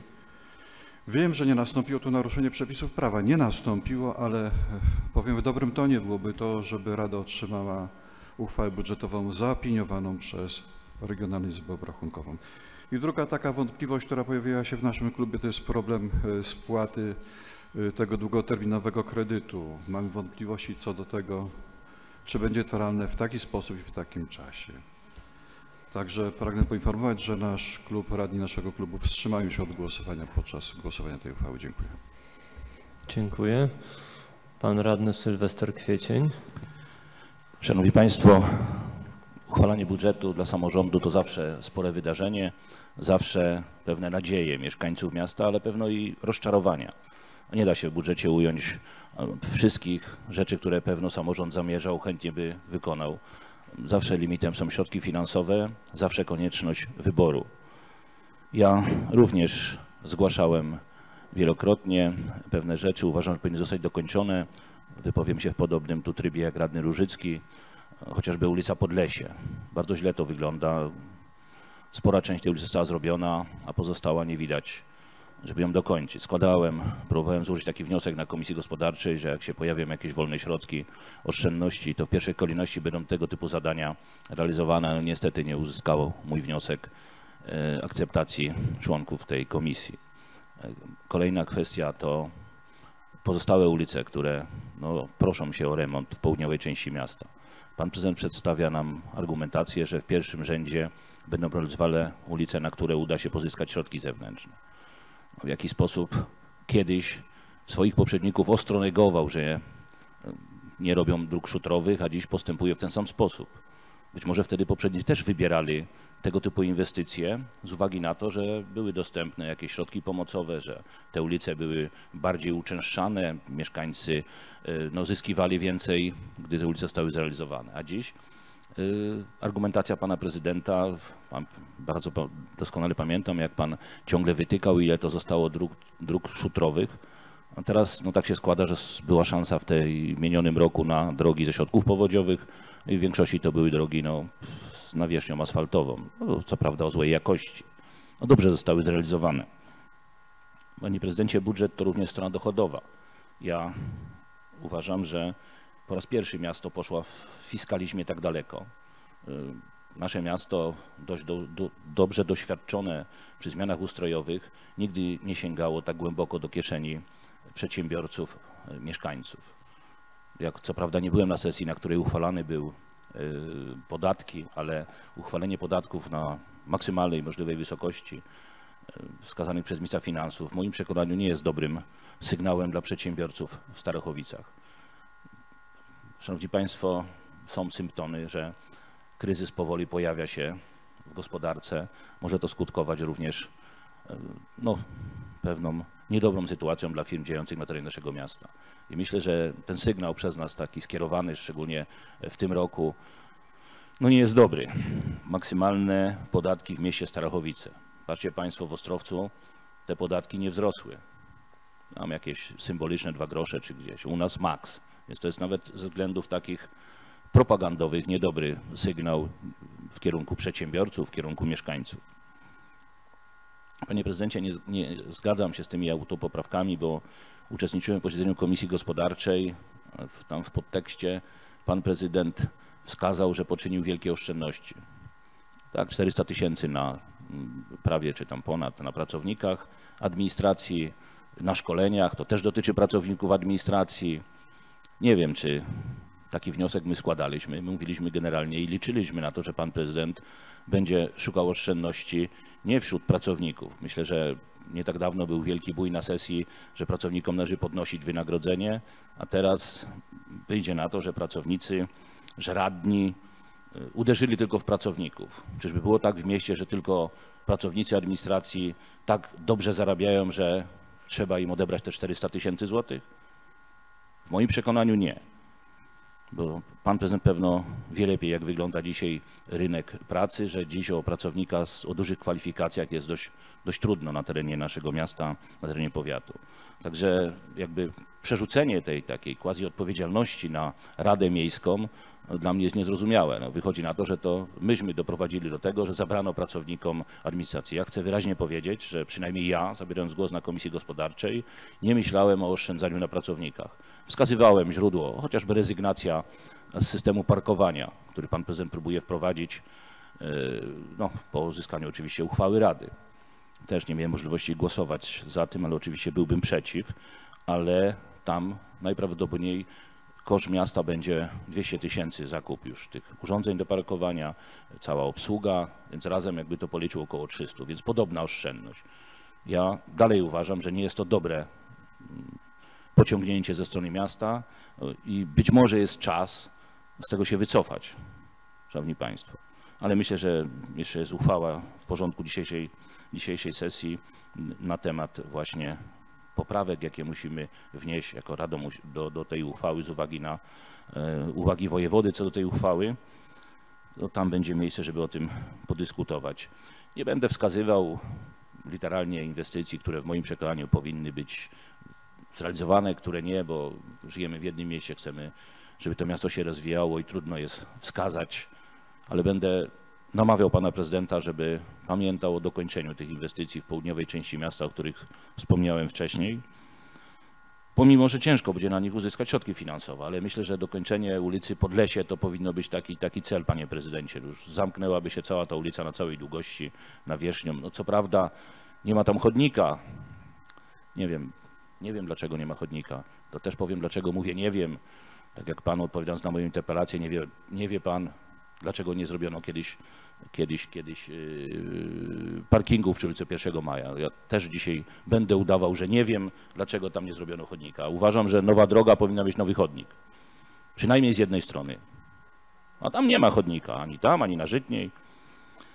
I panie prezydencie, jeszcze jedna kwestia związana z tym, e, z takim małym zaangażowaniem e, mieszkańców w kwestię budżetu. Dobrym zwyczajem w poprzednim czasie były konsultacje z mieszkańcami. Ja wiem, że mieszkańcy różnie brali udział w tych konsultacjach. Pamiętam czas, gdy wychodziliśmy do mieszkańców, spotykaliśmy się w szkołach w sześciu rejonach miasta. Później organizowaliśmy spotkania tu na, na tej naszej sali Olimpia ale zawsze tego typu działania były prowadzone. Były kierowane zaproszenia do przedsiębiorców, do spółdzielni mieszkaniowej, tak żeby ten budżet był taki naprawdę rozpropagowany, żeby mieszkańcy jak zechcą mogli skorzystać. Ja nie doczytałem się, nie doszukałem się takiej możliwości w tym roku. Zdarzało się, że mnie mieszkańcy pytali, czy dlaczego pan prezydent nie konsultuje, nie rozmawia z nami o budżecie. Są grupy, które chciałyby przyjść, przedstawić swoje racje prezydentowi. Nie było takiej możliwości. Uważam, panie prezydencie, że należy się zastanowić, czy nie wrócić do tego dobrego wzorca i w kolejnym roku, bo dziś to już trudno, jesteśmy na sesji budżetowej, ale w kolejnym roku, uchwalając budżet na 2021, nie, nie próbować bardziej rozmawiać z mieszkańcami na ten temat. Także budżet, jak każdy budżet, ma stronę dochodową, wydatkową. My ten budżet będziemy w jakiś sposób równoważyć e, pożyczkami i kredytami. Ja pytałem kiedyś, dlaczego nie obligacje? Nie uzyskałem odpowiedzi jakiejś, no tylko, że taką ogólną, że jest taniej dzisiaj kredyt, pożyczka. Ale wydaje mi się, że powinniśmy jako Rada przed podjęciem decyzji, być może taka informacja do Państwa została przekazana. Ja oprócz takiej suchej informacji nie otrzymałem żadnej, która by potwierdziła, że to jest prawdą. Że wiem natomiast, że no, obligacje jest to pieniądz w jakiś sposób zaznaczony do konkretnego zadania. Dla administracji, dla pana prezydenta łatwiej jest, jak to jest kredyt czy pożyczka, bo wtedy tymi pieniędzmi można, mówiąc tak kolokwialnie, żonglować w budżecie, przesuwając je na odpowiednie wydatki. Natomiast gdyby to były obligacje, myślę, że i jakby zrozumienie społeczeństwa byłoby dużo większe do tego, że no bierzemy obligacje pod konkretne zadanie inwestycyjne. Natomiast no, przy pożyczce ciągle są tego typu dyskusje. No, bierzemy pożyczkę, a z drugiej strony lekką ręką, chociażby w roku minionym, wydawaliśmy pieniądze publiczne, myślę, że nie na sprawy pierwszej potrzeby. Wymienię tutaj kaczkomaty, butelkomaty, te, te, te, te światełka do, do kolorowe różne. Także to, to mieszkańcy ciągle wracają, podkreślają, pytają o to. Myślę, że w 2020 roku, w roku którym, budżetu, który będziemy na, za chwilę uchwalać, powinien pan prezydent, przynajmniej tu publicznie Radzie, obiecać, że w tym roku, patrząc na to, że zabrał pieniądze pracownikom, powstrzyma się od zakupu kolejnego kaczkomatu, kolejnego automatu do, do, do, butelek. Wystarczy ten jeden przeniesiony, bo i tak w Polsce wielu myśli, że to już jest kolejny. Nie? Wystarczyło tylko zmienić miejsce. To bardzo dobry chwyt marketingowy, panie prezydencie. Myślę, że jakby go przeniósł na południe, to będą myśleć, że mamy trzy. Kończąc, również y, przede mną ciężka, trudna decyzja, czy głosować za budżetem, czy być przeciw. No przeciw, szanowni państwo, się nie da, bo budżet trzeba uchwalić, miasto musi funkcjonować. Ja również wstrzymam się od głosu na, przy głosowaniu na budżet na rok 2020. Dziękuję za uwagę. Dziękuję bardzo. Pan radny Marcin Sawula. Panie Przewodniczący, Panie Prezydencie, Wysoka Rado, ja może zacznę od takiego stwierdzenia, podnieśmy podatki. Tak, podnieśmy podatki, tylko trzeba na wstępie powiedzieć, co za tym stoi, że te podatki musieliśmy podnieść. Przede wszystkim to, że wzrost cen energii elektrycznej, y, podwyżki dla nauczycieli. Ja rozumiem, że nauczyciele muszą godnie zarabiać, ale za tym powinna iść subwencja oświatowa, która powinna w pełni refundować te podwyżki. Kolejna rzecz, podniesienie płacy minimalnej. Szanowni Państwo, no z pustego to jest Salomo nie naleje. Pozwoliłem sobie tu też na kartce e, wypisać kilka bardzo istotnych spraw, jeśli chodzi o budżet. Zacznę od długu. Szanowni Państwo, dług na 2020 rok wynosi 58 milionów 898 e, tysięcy złotych. W 2017 było to 41 milionów 700 złotych. Szanowni Państwo, przy 70 milion, 75 milionach wydatków e, majątkowych tylko e, w roku 2020 2020, bo y, taki planujemy budżet, no to y, ta podwyżka tego długu, zwiększenie, no to uważam, że jest bardzo niskie. Także trzeba tutaj y, naprawdę schylić głowę w stosunku do działań pana prezydenta i powiedzieć, że jest polityka, jeśli chodzi o pilnowanie długu i tych progów ostrożnościowych prowadzona w sposób należyty. E, Szanowni Państwo, kolejna rzecz. Bieżące dochody. 240 milionów 621 tysięcy złotych. E, W 2014 roku, jeżeli dobrze pamiętam, po stronie dochodowej było to 147 milionów. Szanowni Państwo, to jest praktycznie 100 milionów więcej niż e, 6 lat temu. Przy czym, jak już wspomniałem wcześniej, 75 milionów na wydatki majątkowe, przy czym 24 miliony e, dotacji z Unii Europejskiej. W, w, których, w których latach wcześniej, e, patrząc historycznie, pozyskiwaliśmy tak dużą liczbę środków unijnych? Wydatki na budowę dróg 22 miliony. No, to, to, to też, Szanowni Państwo, rewitalizacja pasternika, yy, Lubianki, budowa centrów przesiadkowych, zakup y, taboru niskoemisyjnego y, dla MZK, budowa nowej Moniuszki, budowa ścieżek rowerowych w, w całym mieście. To nas czeka w kolejnym roku i, i, i, i w latach y, następnych. Budowa 60 mieszkań. No, szanowni Państwo, y, trzeba powiedzieć, że naprawdę wiadomo, czekają nas trudne czasy, czasy zaciskania pasa oszczędności, ale trzeba przyznać, że y, prezydent wraz z pracownikami i my jako radni y, myślę, że podejmiemy słuszne de decyzje i ja, jeżeli y, za chwilę będę głosował za budżetem, podniosę rękę i chciałem w tym, z tego miejsca panu prezydentowi podziękować za tak dobrze skrojony budżet. Dziękuję bardzo. Dziękuję bardzo. Pan radny Sylwester Kwiecień.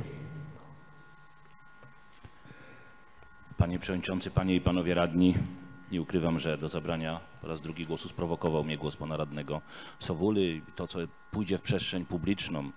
Już Panie Radny, bardzo bym prosił, żeby Pan poinformował opinię publiczną, ile wynosiły transfery socjalne w 2014, a ile wynoszą w tym roku. I to idzie przez budżet, więc opowiadanie tych dwóch cyfr w taki sposób, że kiedyś to było tyle, a teraz to są miliony, i nie dodanie, że te pieniądze to tylko przechodzą pod, przez budżet, bo wpływają y, ze środków rządowych, no jest y, taką trochę niedopowiedzeniem, sprytnym niedopowiedzeniem, bo ka- mieszkaniec, a potem jest słowa tego dużego uznania dla pana prezydenta, pokazują cele, w jakim pan to powiedział. No, pokazać, że pan prezydent bardzo dobrze to robi, ale pan prezydent akurat tu nie miał udziału, że te środki są większe. To są decyzje na szczeblu krajowym i chyba o tym pan wie i zgodzi się pan ze mną. To znaczy, że przekłamał pan tamtą wypowiedź. Była mało precyzyjna. Ale było mało precyzyjna. Także, ale no, trzeba to wyjaśnić mieszkańcom, bo nie możemy żyć w takim stanie y, trochę, trochę rozmijania się z prawdą, no, przedstawianie cyfr wygodnych dla siebie. Szanowni Państwo, wydatki, porównywanie do przeszłości, oczywiście zawsze można takie czynić. Ja już zabierałem głos na ten temat w przeszłości, mówiąc, jakie były dochody z PIT-u, jaka była sytuacja gospodarcza, jakie było bezrobocie. Także ja sobie zdaję sprawę, że my nie żyjemy w próżni, ale też proszę spojrzeć, jakie były dostępne środki w przeszłości i czy były na taką skalę dostępne, niż są teraz. No nie były w poprzednich latach. To też jest prawda. Teraz się takie pojawiły. Kolejne, nie wiadomo jaka będzie y, transfer dla Polski pieniędzy z Unii Europejskiej na kolejne y, lata, ale Szanowni Państwo, dobrze te środki się udaje wykorzystać, tylko pewno mnie Pan nie przekona i nikogo nie przekona z mieszkańców miasta, że nasze inwestycje realizowane w tym roku wszystkie były takie piękne. No, dołożenie milion sześćset do tych zielonych zabawek, gdzie te ławki przestawiamy z jedną na drugą stronę, no chyba nie było dobrym pociągnięciem, bo te milion sześćset brakuje dzisiaj, nie? Byłaby większa nadwyżka, być może byłoby większe możliwości zrobić coś, co będzie służyć mieszkańcom miasta, a to tylko będzie Starachowice, Starachowiczan kosztować w przyszłych pięciu latach, gdzie będziemy za to wszystko płacić, żeby to utrzymać na jakimś tam poziomie. I tu moglibyśmy prowadzić tego typu dyskusje, ale myślę, że jest niecelowe. Chciałem tylko zwrócić uwagę, że dobrze, że korzy- wykorzystujemy i myślę, że to nie jest jakaś tam, jak pan próbuje to przedstawić, osobista zasługa pana prezydenta, bo możemy, gdyby to było tak, to żadne z miast ościennych by się w ten sposób nie rozwijało, żadne by się nie rozwijało, tylko Starachowice. Już państwo przecież obserwujecie, że tak w zasadzie do dzisiaj nie ma miasta, gminy, nasi sąsiedzi też realizują swoje zadania, też korzystają ze środków unijnych. Ja tu ani nie próbuję umniejszyć, ale też nie godzę się na jakby szczególne gloryfikowanie tutaj naszego pana prezydenta, że to jest wyłącznie jego zasługa, jak on czasami lubi o tym mówić, że to on załatwił, on zrobił. Także, szanowni państwo, musimy o pewnych rzeczach mówić otwarcie, musimy się to, co dobre, chwalić, to, co złe, to też mówić prawdę. E, No nie musimy się też we wszystkim zgadzać, nie? Może każdy zostać przy swoim zdaniu. Takie są prawa demokracji. Głosowanie wskaże, jak będzie. Jestem przekonany, że pan prezydent, mając zdecydowaną większość w Radzie, y, no uchwali, Rada uchwali budżet, jaki został przedstawiony. No i należałoby się cieszyć, żeby się udało go zrealizować, żeby w przyszłym roku nie podejmować uchwał, tak jak będziemy za chwilę podejmować, y, wydatków niewygasających. No i tu znowu otwiera się następna kwestia, nie? Ile z tych wydatków niewygasających to jest sprawa miasta, ile to jest sprawa innych czynników zewnętrznych. No i ja też, to, uprawiając propagandę, mógłbym też taką teorię postawić, że urzędnicy nie potrafili zrealizować, nie? Ale nie chcę atakować urzędników, zdaję sobie sprawę, że życie nie jest takie proste, że czasami e, są kwestie, czy przetarg się nie udało rozstrzygnąć, czy zbyt duża cena była i na to, i na to trzeba obiektywnie zawsze spojrzeć. Dziękuję. Dziękuję bardzo. Jeszcze chciałem też kilka słów tutaj o budżecie powiedzieć. Pan radny Marcin Sowula mówił o poziomie długu, e, jaki jest zawarty w budżecie, w wieloletniej prognozie finansowej, co za tym idzie. E, No, jeśli chodzi w ogóle o możliwości poziomu zadłużenia, to pewnie należałoby e, też tutaj jasno powiedzieć, że zmieniają się pewne zasady co do możliwości, co do tych warunków, e, co do wskaźników e, zadłużeniowych gminy. W ustawie o finansach publicznych pani skarbnik mówiła na, przynajmniej na Komisji Finansów i Budżetu, e, na innych być może też poruszała kwestię tego, że w tym momencie wpływy majątkowe ze sprzedaży majątku przestają mieć tak naprawdę znaczenie takie jak dotychczas, jeśli chodzi o to zadłużenie.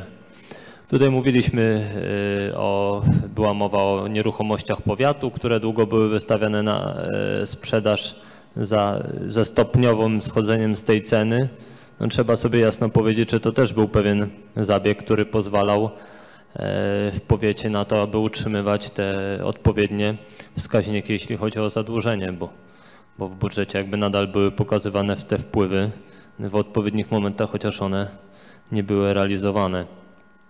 Y, Natomiast y, jeśli chodzi y, o nasz budżet, no tak przy okazji tego pytania, które wcześniej padło o sprzedaż szkoły społecznej, to jakby nie oceniając tego, ale też pamiętam jak był sprzedawany przecież budynek po dawnym hotelu pielęgniarek, tam też dosyć mocno schodziliśmy z ceny. Najpierw było 2200, później 1 400, a ostatecznie poszedł za 1 100 i też był e, tylko jeden chętny na, na kupno. Także, no ale też udało się szybko sprzedać, czas był trudny, więc dobrze, że to zostało wtedy e, dosyć szybko zrealizowane, bo, bo nie, nie było wtedy innego pomysłu już na przeznaczenie tego budynku. Co do e, zadłużenia, to ja porównałem sobie tutaj, jakie, jak miała wyglądać obsługa długu według e, projektu budżetu na 2019 rok i wieloletniej prognozy finansowej w porównaniu do tego, co mamy na rok 2020. Oczywiście e, wtedy ta obsługa długu kończyła się na roku 2029, teraz to jest rok 2035. Natomiast jeśli chodzi o te lata porównywalne, czyli do 2029 roku, to e, można tutaj sobie dodając e, kwoty spłat rat kapitału i odsetek, zobaczy, że w porównaniu z mm, uchwałą budżetową z ubiegłego roku, to w tym dokumencie, który dzisiaj będziemy głosować, w 2020 roku mielibyśmy spłacić o 800 tysięcy złotych mniej. W 2021 i 2022 więcej o po 200 tysięcy. W kolejnych latach 23-24 po 1 200 więcej. w roku 2025 130 tysięcy więcej, w 2026 120 tysięcy więcej, ale w roku 2027 880 tysięcy mniej, w roku 2028 5,2 5 milionów 200 tysięcy złotych mniej, a w roku 2029 w porównaniu do tego, co przyjmowaliśmy w ubiegłym roku, y, do spłaty jest 5 milionów mniej. Czyli te obciążenia rok do roku tak naprawdę e, tym, co teraz zakładamy, byłyby mniejsze. Oczywiście rozciągnięte w czasie, bo e, z tymi założeniami, które są w budżecie, to oczywiście kwota, suma kwot będzie większa, natomiast to będzie e, odpowiednio rozciągnięte w czasie.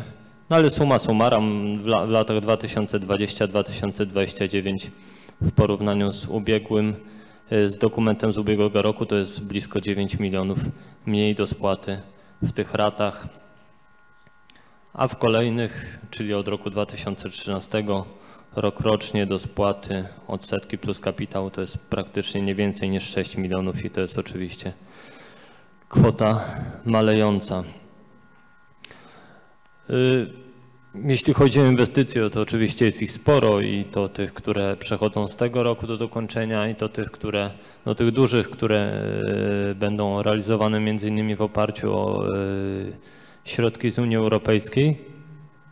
Tutaj też padały nazwy konkretnych ulic. Y, Ja też chciałbym e, wspomnieć o ulicy Nadrzecznej, która e, no, też oczywiście wymaga e, remontu. Byłoby to pewne e, dokończenie. E, To już była wyremontowana ulica Stroma, e, Dolna.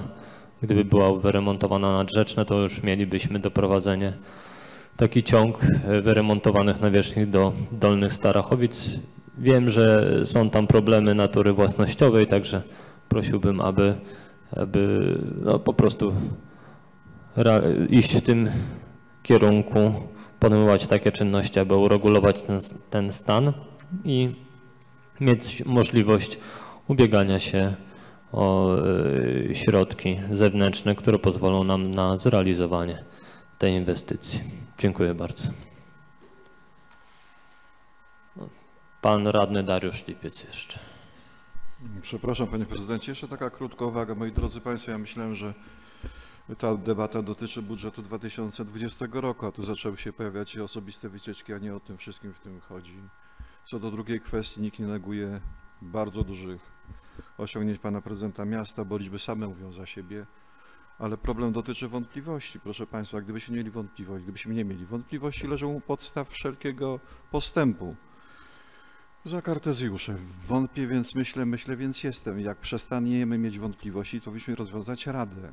Problem polega jedynie na tym, aby w momencie podejmowania decyzji te wątpliwości były jak najmniejsze. Y, Kwestia, powrócę na chwilę do wypowiedzi przewodniczącego związanego ze spłatą kwoty długu kredytu.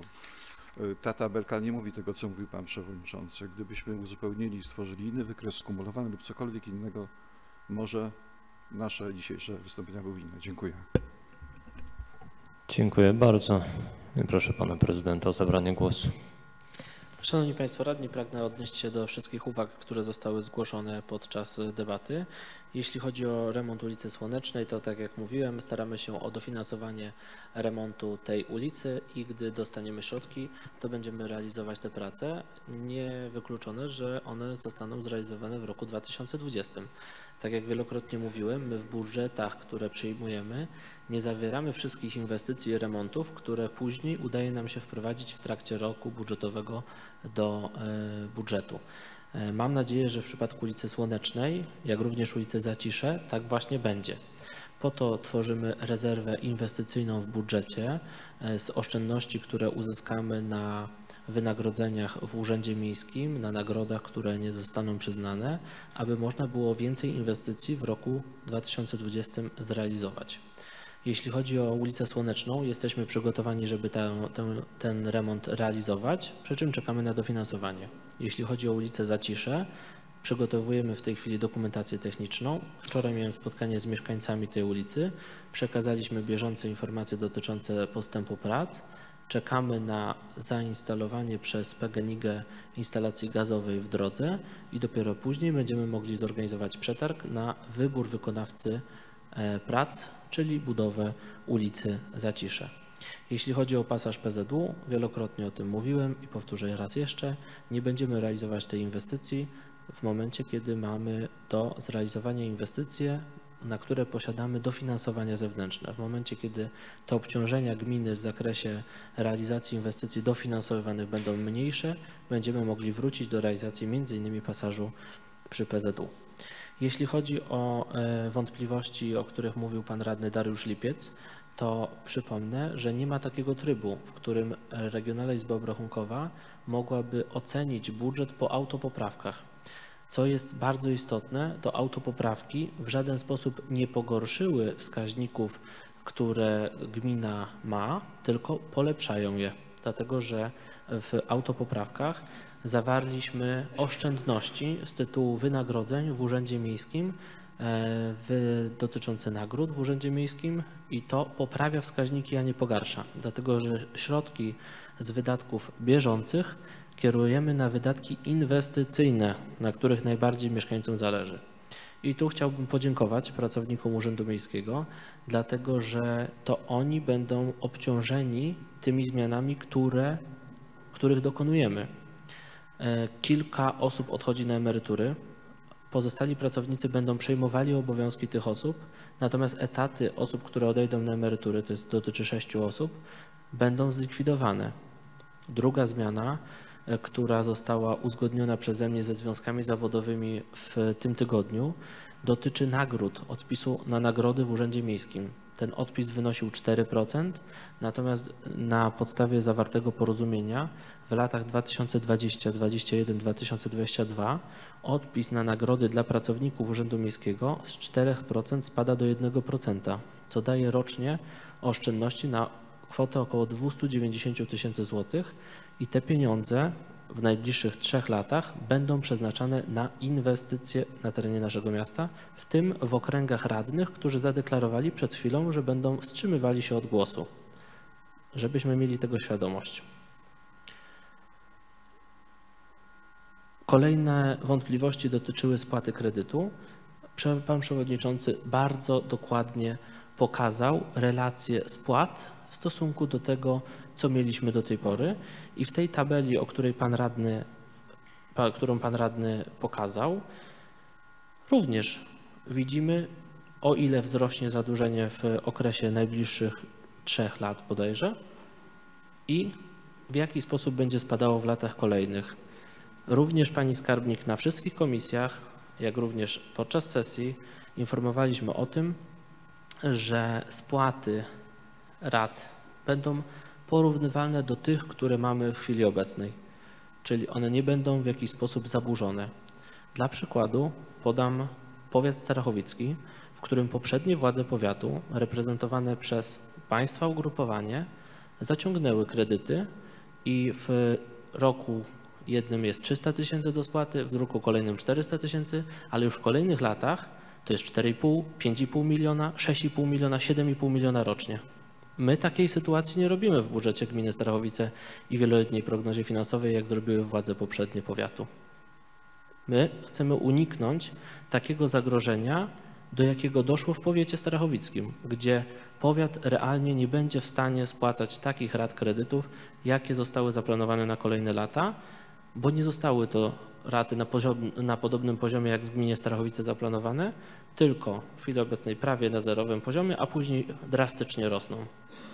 My prowadzimy rozsądną politykę finansową, która dba o to, żeby stabilna sytuacja miasta utrzymywała się w dłuższej perspektywie, a nie tylko w perspektywie jednej kadencji. Jeśli chodzi o uwagi radnego kwietnia, powtórzę po raz kolejny, że dokonuję pewnych wyborów. Jeśli mam wybrać dokończenie pewnej inwestycji, ale zapłacenie za to 100% środków własnych, a mam do wyboru wybrać inwestycje, gdzie środki własne będą stanowiły 20%, a 80% weźmiemy ze środków zewnętrznych, to wolę wybrać inwestycję, do której dostaniemy 80%, a tu będziemy musieli mierzyć się z tłumaczeniem mieszkańcom, dlaczego chodnik czy dana ulica nie jest wyremontowana jeszcze w tej chwili, bo wolę, wracając do ulicy Słonecznej, żeby remont ulicy Słonecznej nie kosztował gminę milion złotych, tylko 200 tysięcy złotych. Po to, żebyśmy mogli pięć innych ulic w tej samej kwocie w roku przyszłym czy w latach kolejnych zrealizować. Po to, żeby w Państwa okręgach, z których zostaliście wybrani, tych remontów w kolejnych latach było więcej niż można by osiągnąć, gdybyśmy chcieli prowadzić taką politykę, o jakiej przed chwilą powiedzieliśmy, żeby już koniecznie w tej chwili realizować daną inwestycję.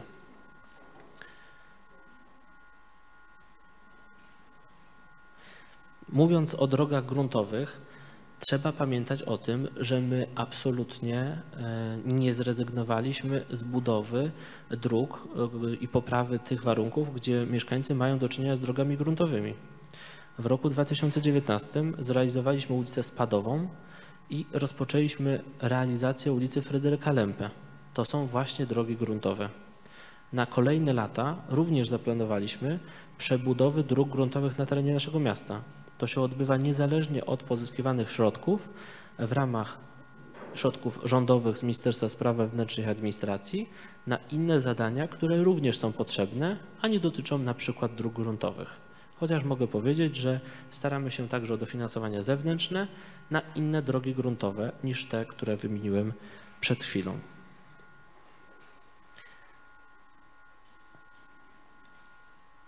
Odnosząc się do podwyżek podatków i zbytniej fiskalizacji, to powiedzmy sobie szczerze, że przez ostatnie pięć lat jak ognia unikaliśmy podwyżek jakichkolwiek obciążeń, które mogą dotyczyć mieszkańców Starachowic.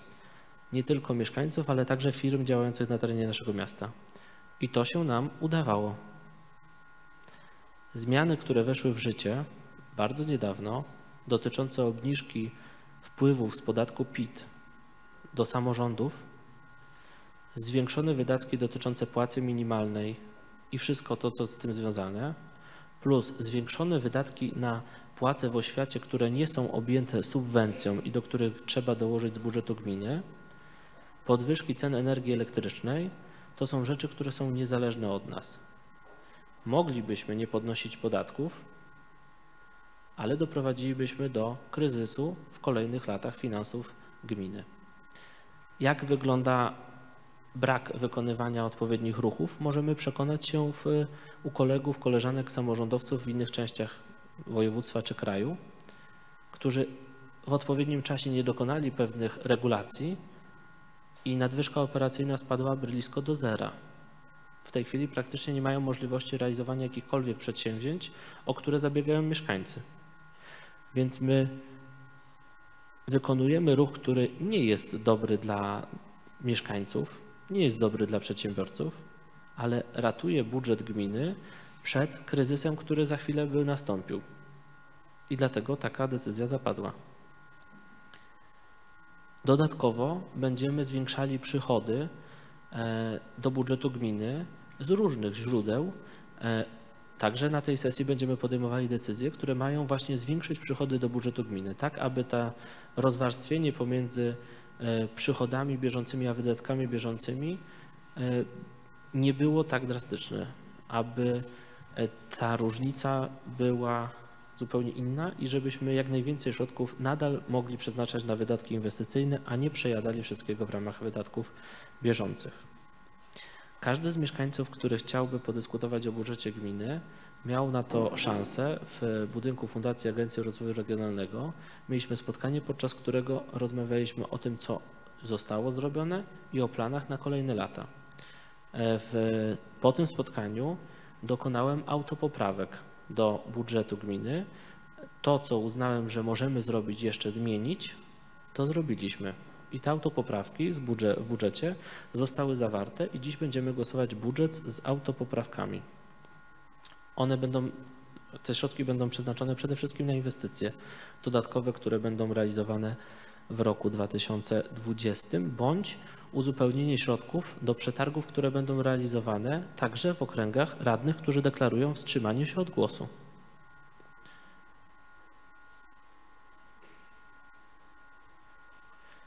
Odpowiadając na pytanie dotyczące kredyt a obligacje, decydujemy się na kredyt zamiast obligacji, dlatego że jest on tańszy dla gminy niż obligacje. Natomiast kredyt, jak również obligacje, wiąże się z tym samym. On musi być przeznaczony na wydatki inwestycyjne, a nie przejedzenie w ramach wydatków bieżących i tak będzie również w tym przypadku. Będzie przeznaczony na wydatki inwestycyjne. Panu radnemu Marcinowi Sowuli dziękuję e, w imieniu pracowników Urzędu Miejskiego za słowa podziękowania skierowane do nich, dlatego że przygotowywanie budżetu w takich uwarunkowaniach, w jakich znalazł się nasz samorząd i wszystkie samorządy w Polsce, jest bardzo trudne. Wymaga bardzo trudnych decyzji, które trzeba podejmować na każdym kroku, tak aby finanse gminy pozostały na podobnym poziomie i aby w kolejnych latach samorząd mógł normalnie, y, mógł normalnie prowadzić swoją politykę skierowaną do mieszkańców. Jeśli chodzi o ulicę Nadrzeczną, to tak jak Pan Przewodniczący zauważył, regulujemy stany prawne gruntów po to, by można było wyremontować tę ulicę i dokończyć ten proces inwestycyjny, gdzie zrealizowaliśmy ulicę Dolną, ulicę e, Stromą, chcielibyśmy Nadrzeczną połączeniu z centrum komunikacyjnym, które będziemy budowali na Dolnych Starachowicach. Jeśli można, chciałbym pokazać krótką prezentację związaną z budżetem gminy Starowice na rok 2020, po to, żebyście Państwo wiedzieli, w jaki sposób on wygląda, o czym mówiliśmy, ale chciałbym, żebyśmy to również zobaczyli. Dochody bieżące ponad 205 milionów, dochody majątkowe 36 milionów,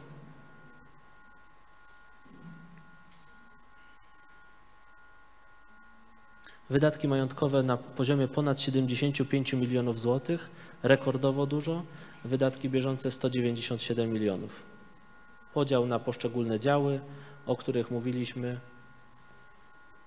Wydatki budżetu gminy z podziałem na działy.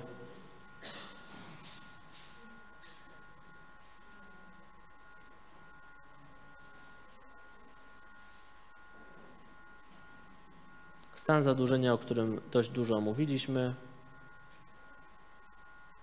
Zadanie inwestycyjne roczne 23, wieloletnie 32 zadania, pozostałe wydatki majątkowe 6 zadań. W ramach wydatków inwestycyjnych przede wszystkim budowa trzech budynków wielorodzinnych przy ulicy Marszałka Józefa Piłsudskiego. Wybraliśmy już wykonawcę dla tego zadania. Jesteśmy pierwszym miastem w województwie świętokrzyskim, który realizuje rządowy program Mieszkanie Plus. Proszę zwrócić uwagę przy wstrzymywaniu się od głosu nad budżetem na rok 2020 na to zadanie. Proszę także, żebyście Państwo radni, którzy deklarują e, wstrzymanie się od głosu, zastanowili się dobrze nad tą decyzją, dlatego że wstrzymujecie się Państwo od głosu przy decydowaniu o realizacji takich inwestycji jak remont ulicy Fryderyka Lempę, na który uzyskaliśmy pieniądze z rządowego programu Fundusz Dróg Samorządowych. Zagospodarowanie parku miejskiego, na które dostaliśmy dofinansowanie z RPO województwa świętokrzyskiego. Budowa nowej drogi od ulicy Kieleckiej do ulicy 6 września, kwota ponad 10 milionów złotych, również dofinansowanie z Funduszu Dróg Samorządowych pozyskane. Możemy także wstrzymać się przy decyzji dotyczącej budowy boiska wielofunkcyjnego i poprawy infrastruktury edukacyjnej w szkole podstawowej nr 2 na osiedlu Michałów, jeśli uważamy, że nie jest do końca potrzebne. Możemy także wstrzymać się od głosu przy przywróceniu walorów naturalnych zbiornika Pasternik wraz z zagospodarowaniem linii brzegowej. Pozyskaliśmy na to 19,5 miliona złotych ze środków europejskich z Narodowego Funduszu Ochrony Środowiska i Gospodarki Wodnej. Już mamy wybranego wykonawcę dokumentacji, natomiast później będzie w 2021 realizacja. Przebudowa ulicy Krańcowej.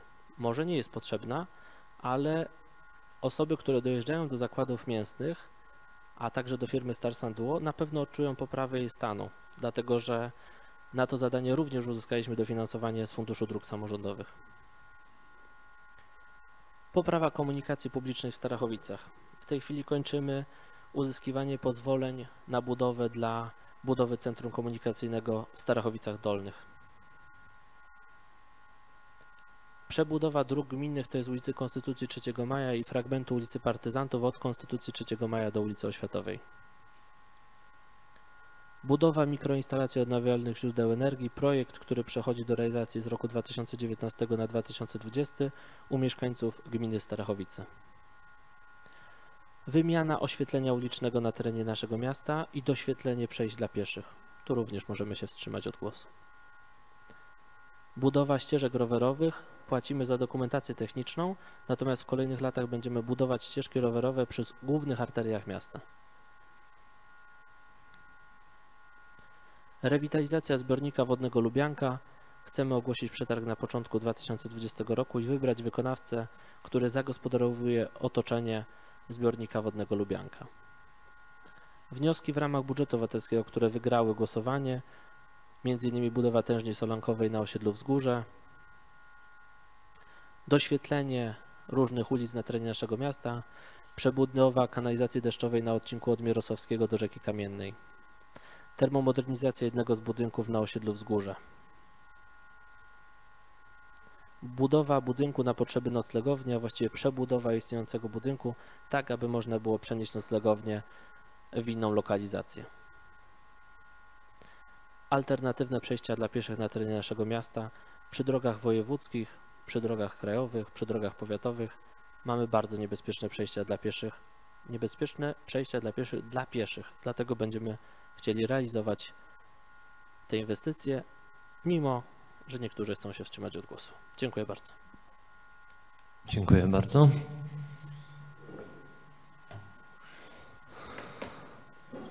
Zakończyliśmy podpunkt szósty. I przechodzimy do podpunktu siódmego, to jest głosowanie uchwały budżetowej. Przechodzimy zatem do głosowania nad uchwałą budżetową na rok 2020. Bardzo proszę Państwa radnych o oddawanie głosów.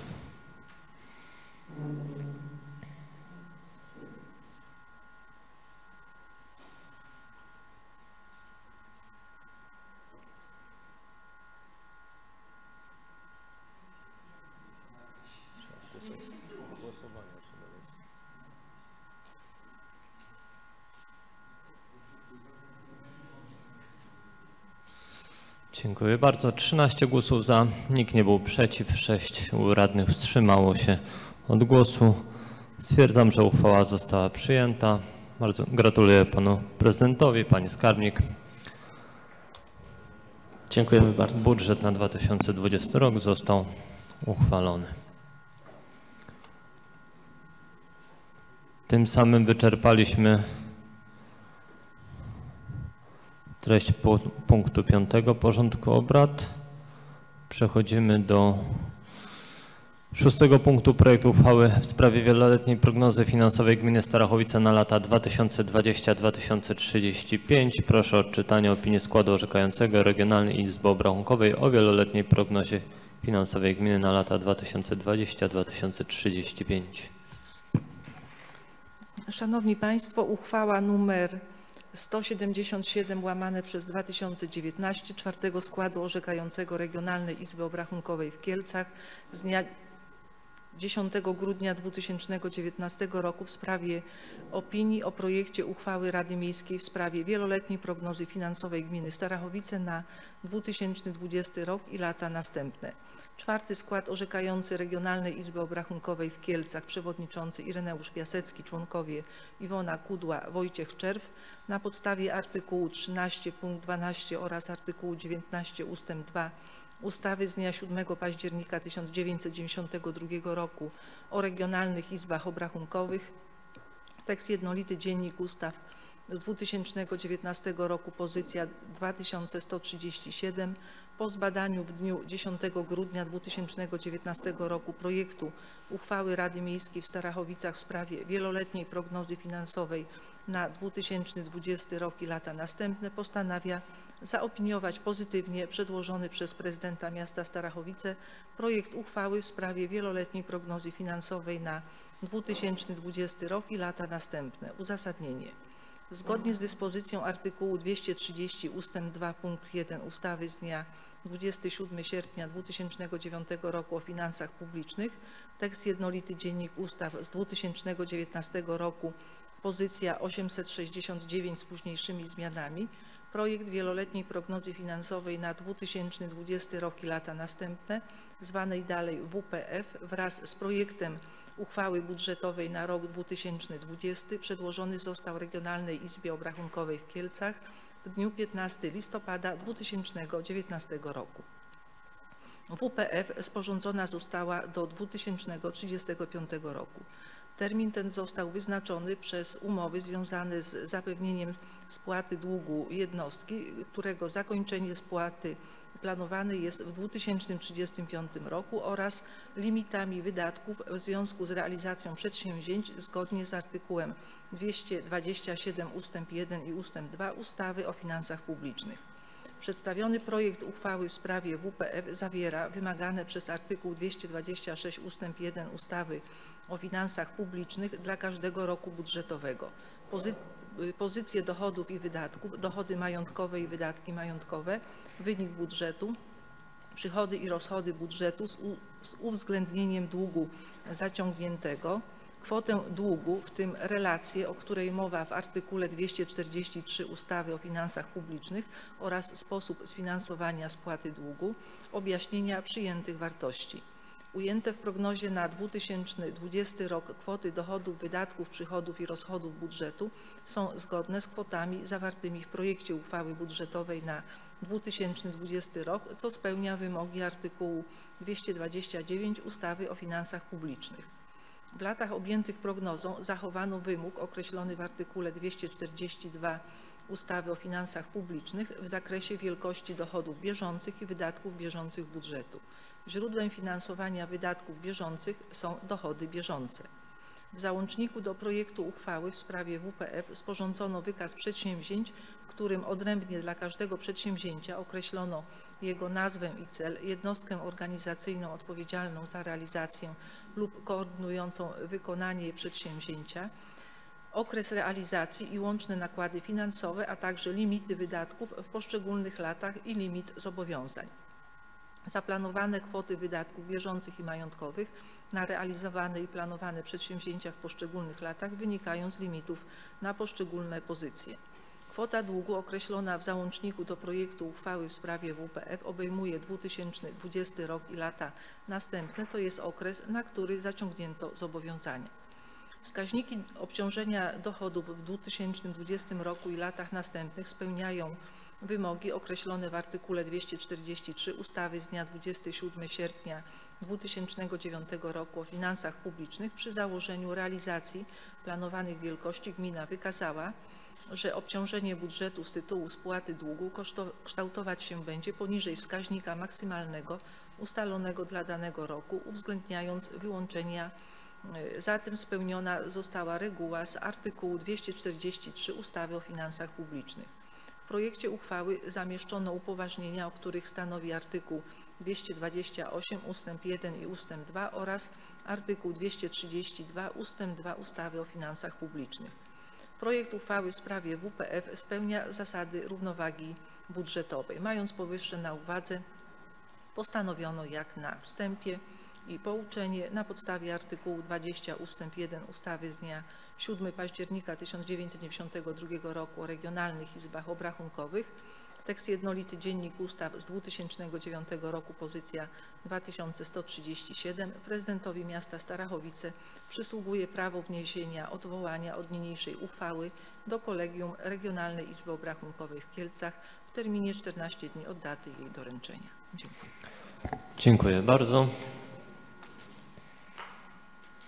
Nie widzę zgłoszeń. Przechodzimy zatem do głosowania na, nad projektem uchwały w sprawie wieloletniej prognozy finansowej gminy Starachowice na lata 2020-2025. Proszę o oddawanie głosów.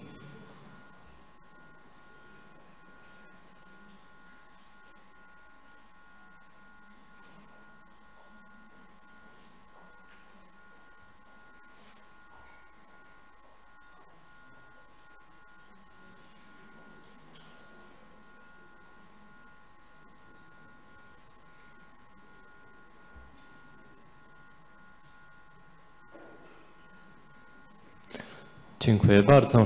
15 głosów za, nikt nie był przeciw, czworo radnych wstrzymało się od głosu. Stwierdzam, że uchwała została przyjęta. Dziękuję Państwu radnym za udział w dyskusji nad przyszłorocznymi finansami w latach kolejnych.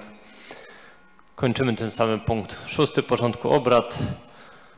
Ogłaszam teraz 15 minut przerwy.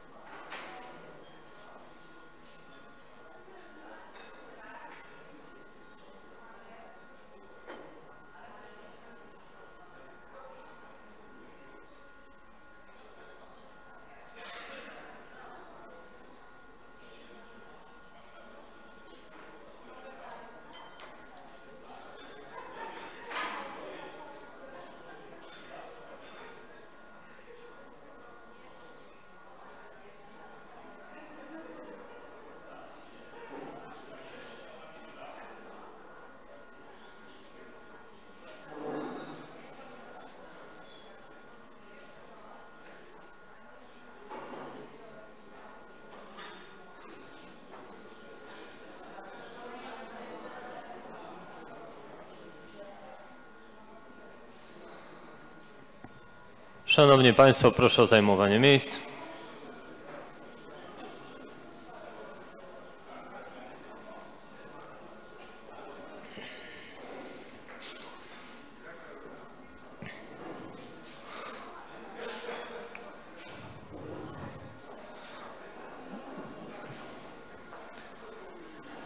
Wznawiamy nasze obrady. Jesteśmy w punkcie siódmym. Przyjęcie planu pracy Rady Miejskiej w Starachowicach na pierwsze półrocze 2020 roku.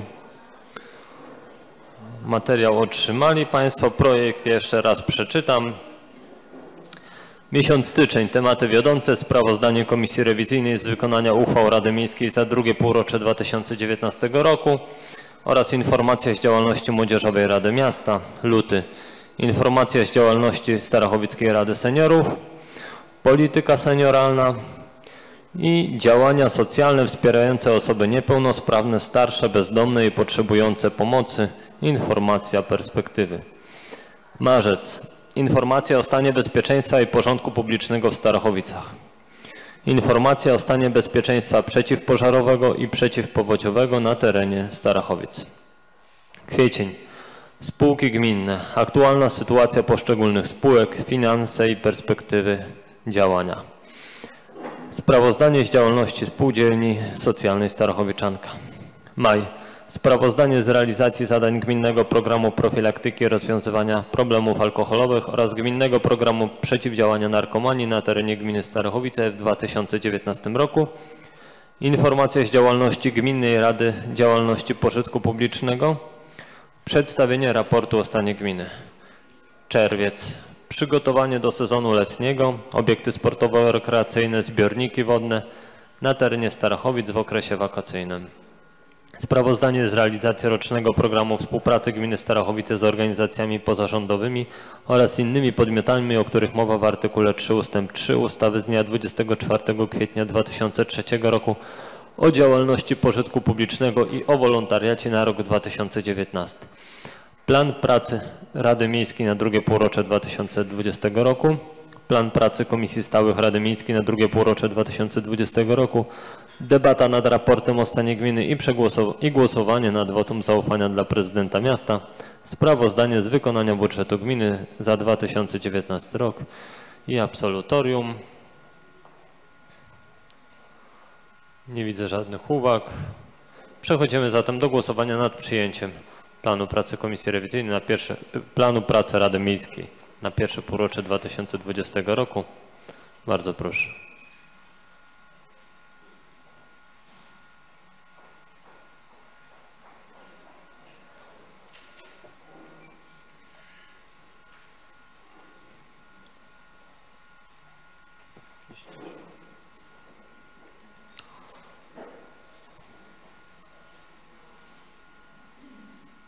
Dziękuję bardzo. 19 głosów za. Stwierdzam, że plan pracy Rady Miejskiej został przyjęty jednogłośnie. I przechodzimy do punktu ósmego porządku obrad. Plany pracy Komisji Stałych Rady Miejskiej na pierwsze półrocze 2020 roku. Komisja Finansów i Budżetu. Bardzo proszę Pan Przewodniczący Marcin Sobula.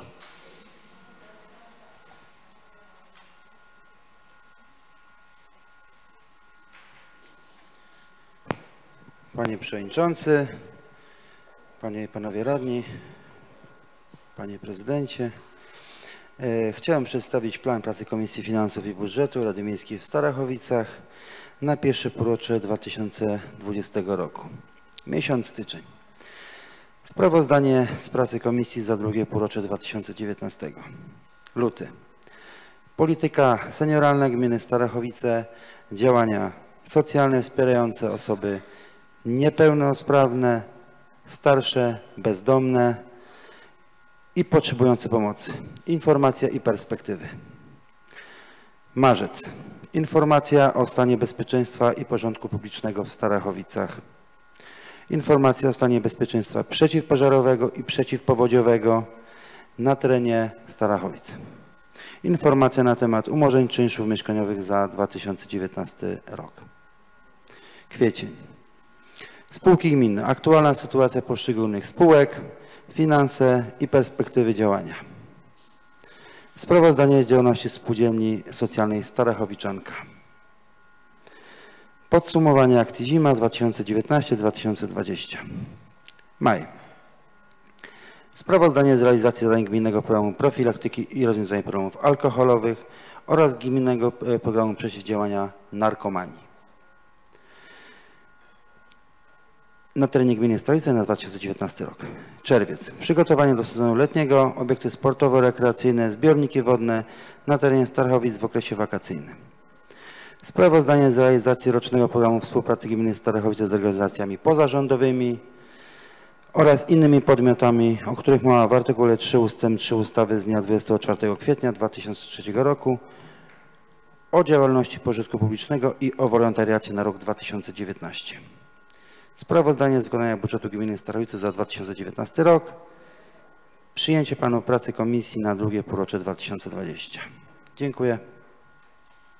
Dziękuję bardzo. Poproszę Komisję Gospodarczą, Pan Przewodniczący Jarosław Nowak.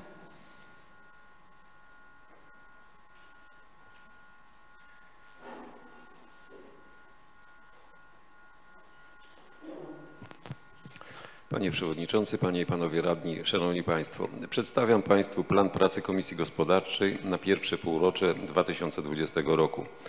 W miesiącu styczniu zamierzamy zająć się zasobami mieszkaniowymi gminy, perspektywy rozwoju, zaległości czynszowe oraz realizacja list mieszkaniowych przydziału lokali mieszkalnych na lata 2015-2019 oraz sprawozdanie z pracy Komisji Gospodarczej za, pierwsze, za drugie półrocze 2019 roku. Miesiąc luty. Polityka senioralna gminy Starachowice. W miesiącu marcu informacja o stanie bezpieczeństwa i porządku publicznego w Starachowicach. Miesiąc kwiecień spółki gminne, aktualna sytuacja poszczególnych spółek, finanse i perspektywy działania oraz sprawozdanie z działalności Spółdzielni Socjalnej Starachowiczanka. Miesiąc maj, podsumowanie akcji Zima 2019-2020 oraz stan realizacji inwestycji gminnych. W miesiącu czerwcu plan pracy Komisji Gospodarczej na drugie półrocze 2020 roku oraz sprawozdanie z wykonania budżetu miasta za 2019. Oczywiście jest to plan ramowy, który zapewne będzie uzupełniany w trakcie prac komisji. Dziękuję bardzo. Dziękuję bardzo. W podpunkcie trzecim mamy Komisję Edukacji, Kultury, Zdrowia i Sportu. Bardzo proszę Panią Przewodniczącą Jadwigę Piątek.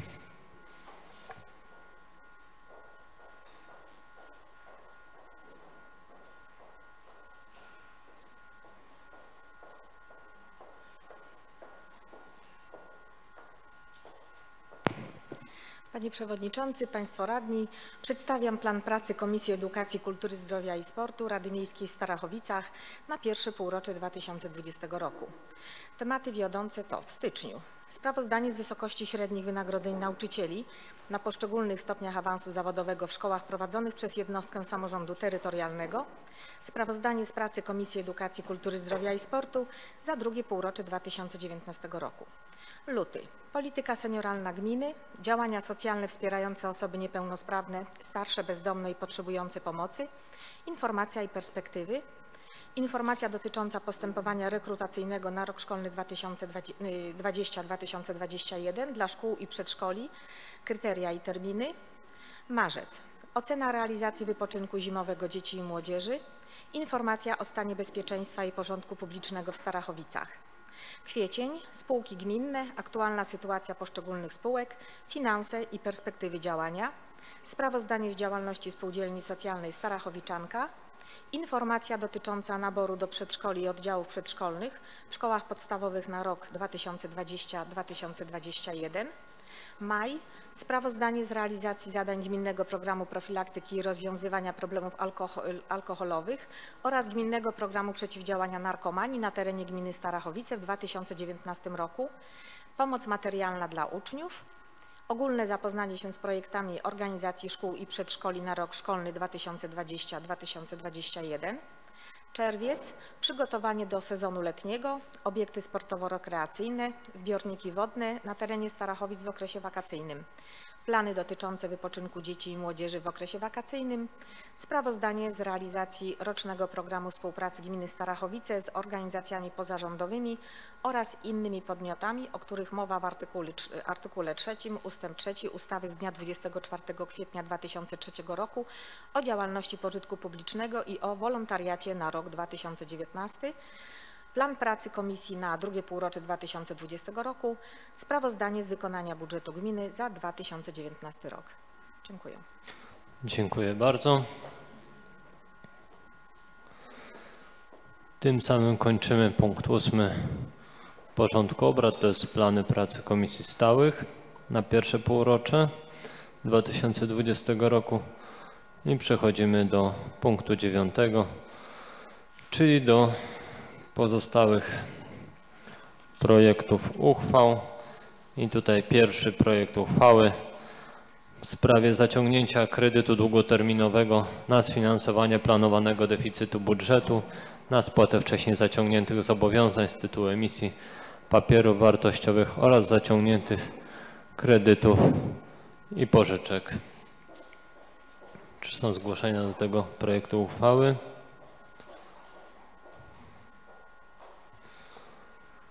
Nie widzę żadnych zgłoszeń. Przechodzimy zatem do głosowania nad projektem uchwały. Bardzo proszę.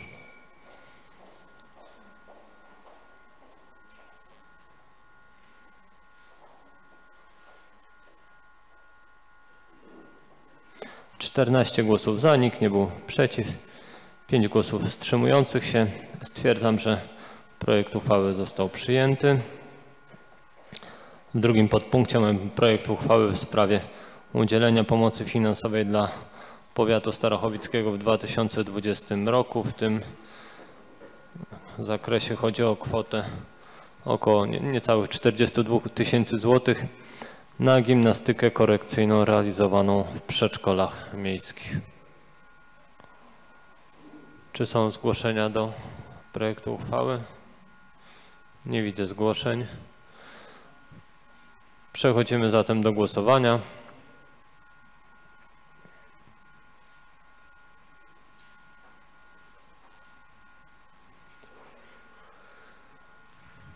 Osiemnaście głosów za, nikt nie był przeciw, jeden głos wstrzymujący. Stwierdzam, że uchwała została przyjęta.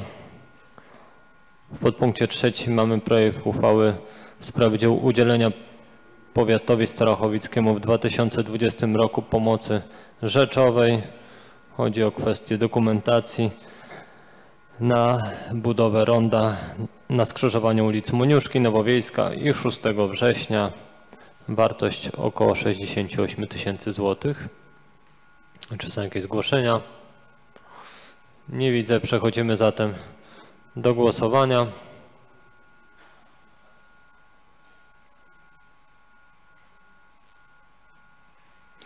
19 głosów za. Stwierdzam, że uchwała została przyjęta jednogłośnie. W podpunkcie czwartym mamy projekt uchwały w sprawie zmian budżetu gminy Starachowice na 2019 rok. Wprowadzamy tutaj do budżetu e, wpływy z tytułu części subwencji oświatowej, to jest około 150 tysięcy złotych. Gmina wnioskowała o ponad 800, blisko 900 tysięcy. E, Te kwoty zostaną przeznaczone na, ta kwota około 150 tysięcy zostanie przeznaczona na rozliczenie ze szkołami oraz niepublicznymi placówkami oświatowymi. Nie widzę zgłoszeń do projektu uchwały. Przechodzimy zatem do głosowania.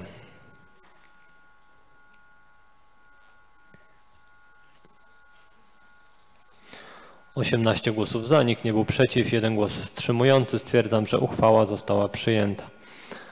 W podpunkcie piątym mamy projekt uchwały w sprawie zmian budżetu gminy Starachowice na 2020 rok. Dotyczy przeniesienia w planie wydatków e, projektu podniesienie jakości życia mieszkańców poprzez rozwój terenów zieleni miejskiej w Starachowicach, rozliczenia świadczeń wychowawczych i rodzinnych, a także wynagrodzeń i innych usług w ramach Miejskiego Ośrodka Pomocy Społecznej, przesunięcia w planie wydatków Środowiskowego Domu Samopomocy, Miejskiego Ośrodka Sportu i Rekreacji, y, a także wpływu odszkodowania za zniszczenie ogrodzenia Placu Zabaw przy Alei Armii Krajowej. Głosujemy ten projekt wraz z autopoprawką. Państwo mają w materiałach. Nie widzę zgłoszeń. Przechodzimy zatem do głosowania.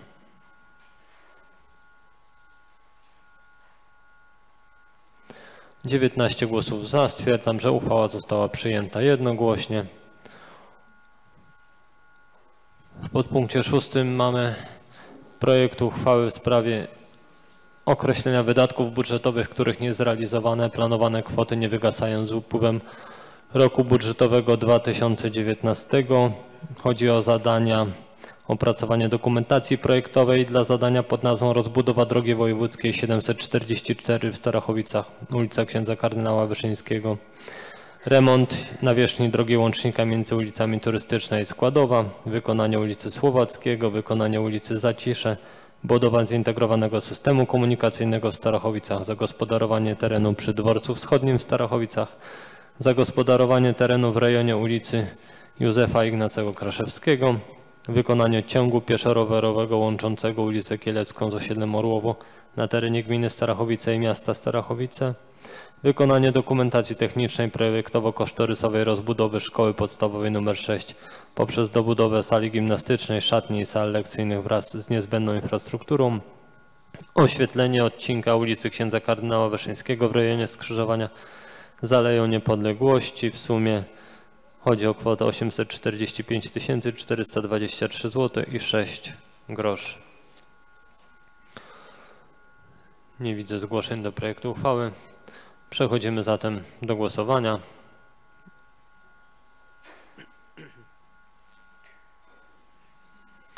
Dziewiętnaście głosów za. Uchwała została przyjęta jednogłośnie. W podpunkcie siódmym mamy projekt uchwały w sprawie uchylenia uchwały nr 3 przez 1 przez 2016 Rady Miejskiej w Starachowicach z dnia 26 lutego 2016 roku w sprawie wprowadzenia zwolnienia z opłaty za gospodarowanie odpadami komunalnymi wraz z późniejszymi zmianami. Czy są zgłoszenia? Pan radny Sylwester Kwiecień. Panie Przewodniczący, ja już na Komisji Gospodarczej zabierałem głos na ten temat. Pamiętam czas, gdy ta uchwała była uchwalana. Pytałem, czy nas na to stać. Ja wiem, że w międzyczasie zmieniły się przepisy, że inaczej liczy się teraz pojęcie karty dużej rodziny, no ale trochę chyba niezręcznie to wyszło. Najpierw zrezygnowaliśmy z 50 na 25%, a teraz rezygnujemy, likwidujemy całkiem do zera. I prosiłem na komisji, aby samorząd wykonał taką swoistą symulację. Ile nas kosztują różnego rodzaju świadczenia, benefity, które uchwałami Rady Gminy wprowadziliśmy, żebyśmy się w tym po prostu orientowali. Bo tak, no to stosujemy taką zasadę, nawet już w przeszłości się mówiło, że kto daje i odbiera, nie? to w takim niedobrym miejscu się poniewiera, nie? Ja mam luksus. Ja nic mieszkańcom Starachowic nie będę zabierał, będę głosował przeciw. Nie wiem, jak pan pre- prezydent przekonał, czy przekonał swoich kolegów radnych ze swojego zaplecza politycznego, którego wspiera w samorządzie, to państwo weźmiecie to na własną odpowiedzialność. Myślę, że media niezbyt pochwalą tego typu, nawet jak iluś tam będzie lajkować na Facebooku, to nie jest to popularna decyzja. I nie są to duże pieniądze. Ja uzyskałem na Komisji Gospodarczej odpowiedź, że w grę wchodzi około 100 tysięcy złotych. To ja już wskazywałem, że rezygnacja chociażby z systemu parkowania płatnego, gdzie mamy 200 tysięcy na zakup siedmiu parkometrów, do tego jeszcze dojdą koszty z tym związane, zapewniłoby e, w wystarczający sposób pieniądze dla tego przedsięwzięcia, aby ta ulga na poziomie przynajmniej 25% została zachowana. Ale widzę, że nie zostało to w jakiś sposób pozytywnie odebrane przez pana prezydenta. Za chwilę czas pokaże również chyba przez grupę trzymającą władzę w mieście Starachowice. Ja zachęcam kolegów radnych, żebyście nie zabierali tego mieszkańców. Apeluję wręcz do was wszystkich. Nie głosujcie za tą uchwałą, bo rzeczywiście blado to wygląda, bo kto daje i zabiera, ten się w piekle poniewiera. Dziękuję. Dziękuję bardzo. Pan prezydent, proszę. Szanowni Państwo Radni, byłem osobą, która wnioskowała o to, żeby ta ulga w naszej gminie obowiązywała w momencie, kiedy była nas na to stać. Wiemy, że warunki, w których działamy się diametralnie zmieniły od tego momentu, dlatego ulgę tę likwidujemy. E, Zmieniły się ustawy dotyczące karty dużej rodziny. Ilość osób, która jest uprawniona do posiadania karty dużej rodziny jest znacznie większa niż była do tej pory.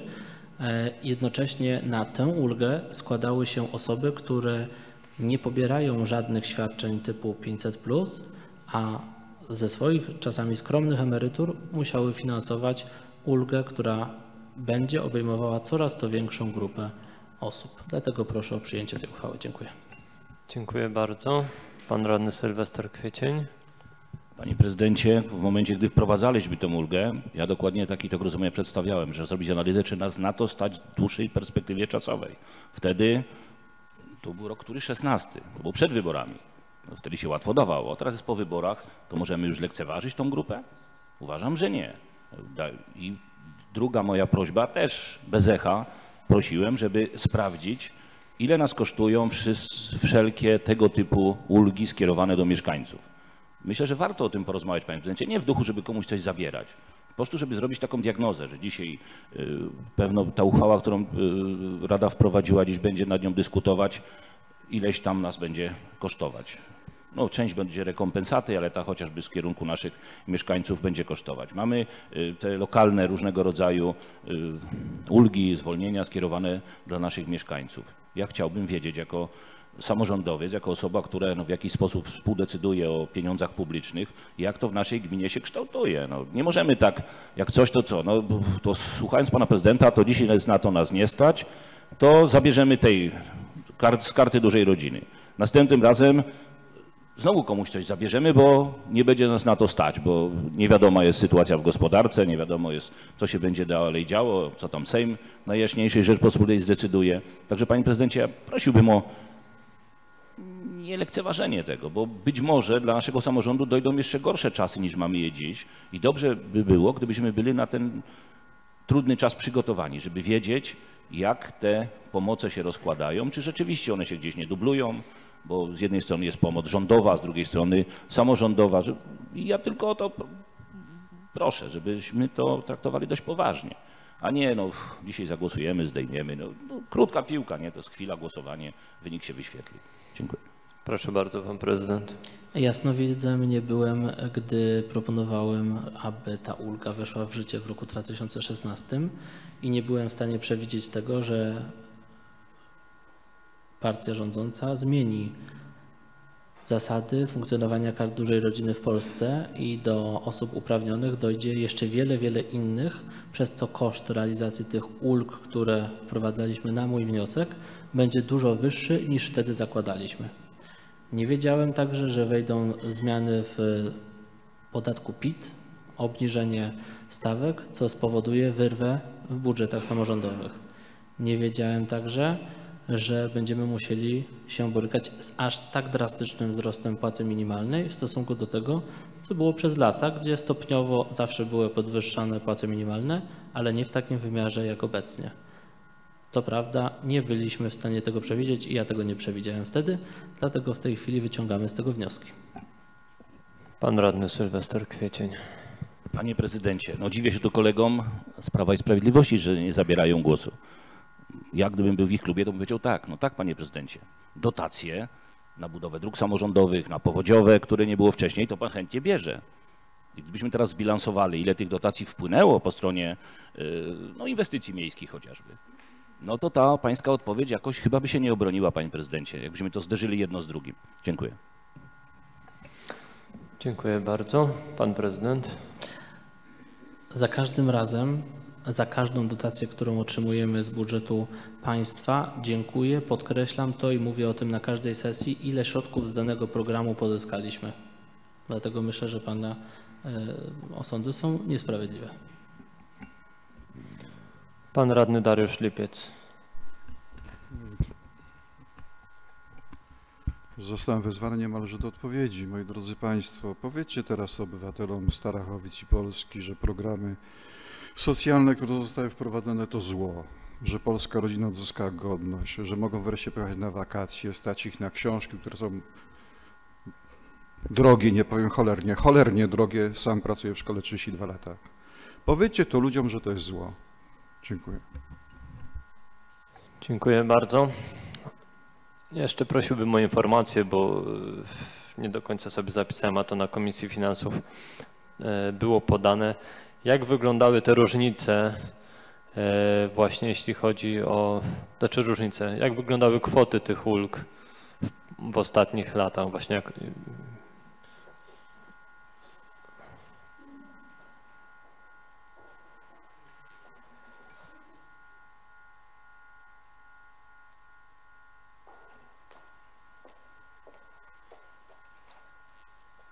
Witam Państwa wszystkich. Więc jeśli chodzi o y, ulgi y, dotyczące zwolnienia z karty dużej y, rodziny, które obowiązywały, obowiązują jeszcze od połowy 2016 roku.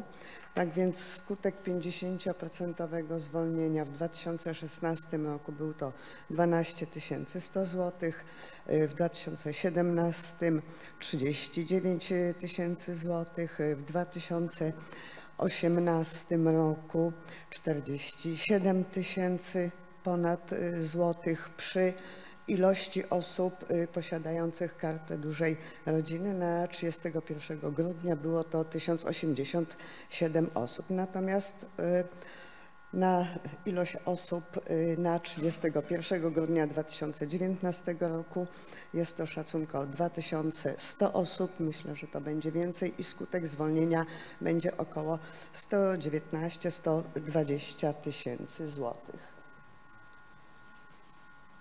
Dziękuję bardzo. Jeśli dobrze pamiętam, te pieniądze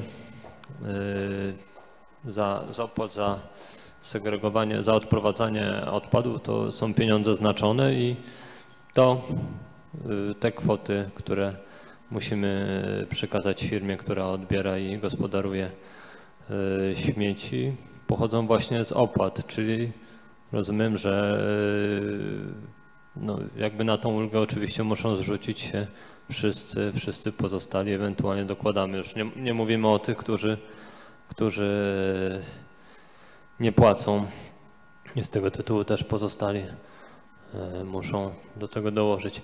I jeszcze bym prosił, żeby przypomnieć, e, kiedy mm, kończy się obecny zakres, no, umowa z obecną firmą, kiedy trzeba będzie przeprowadzić przetarg i czy mamy jakieś rozeznanie, jeśli chodzi o, o ceny, które e, można uzyskać, które no, istnieje możliwość uzyskania o stawki, jakie są po ostatnich przetargach e, no, w ościennych gminach na przykład, jak to wygląda?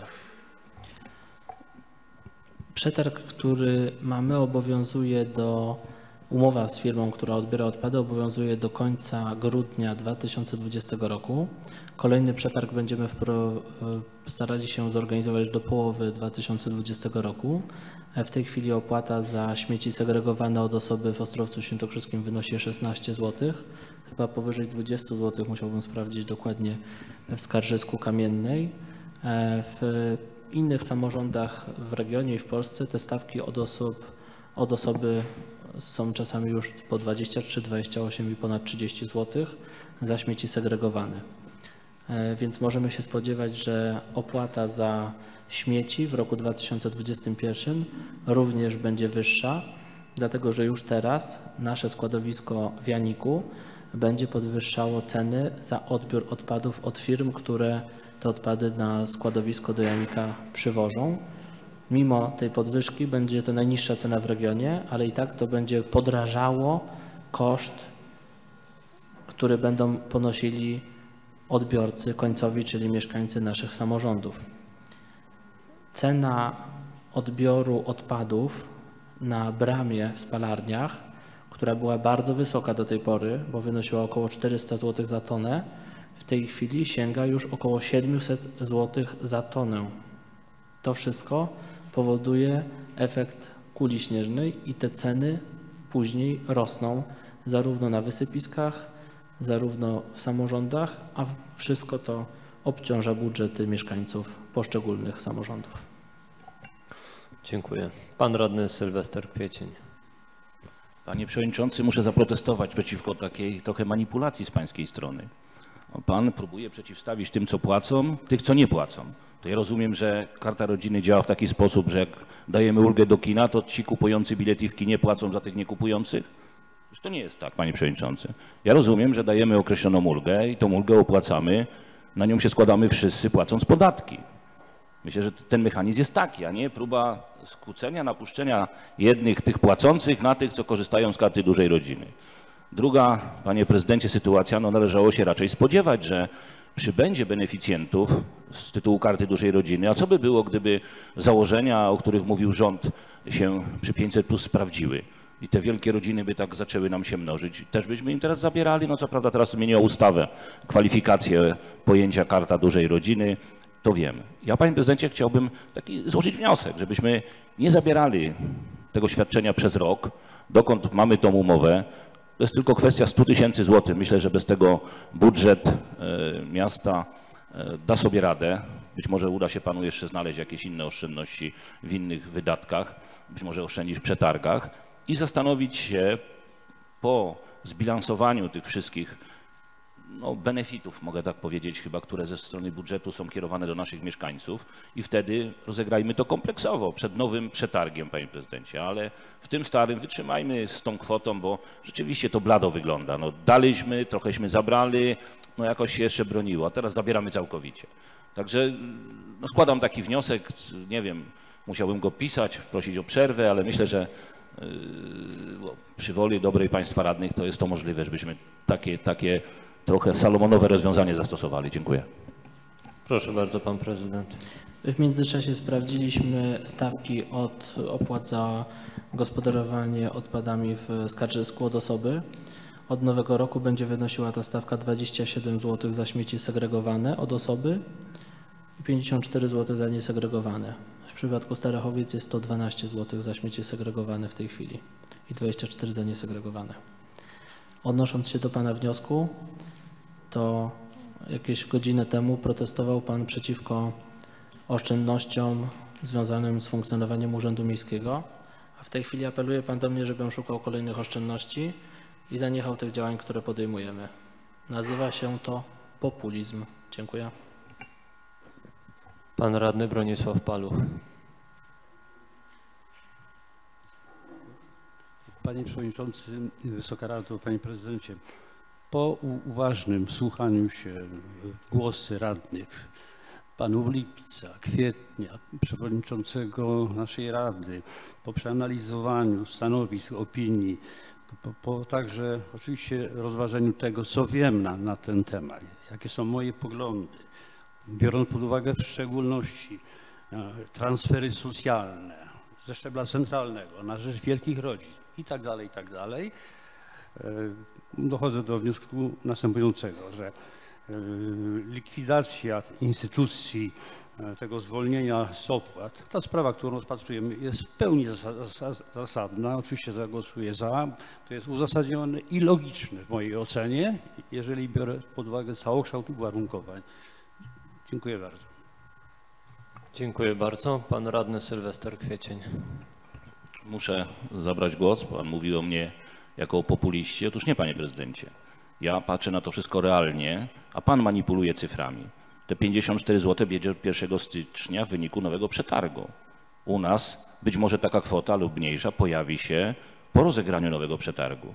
Więc manipulowanie tu tymi cyframi, straszenie, proszę, 54, pan przewodniczący mówi, że ktoś za nich kogoś będzie płacił. To jest dopiero manipulacja, panowie. I nad swoim populizmem się zastanówcie.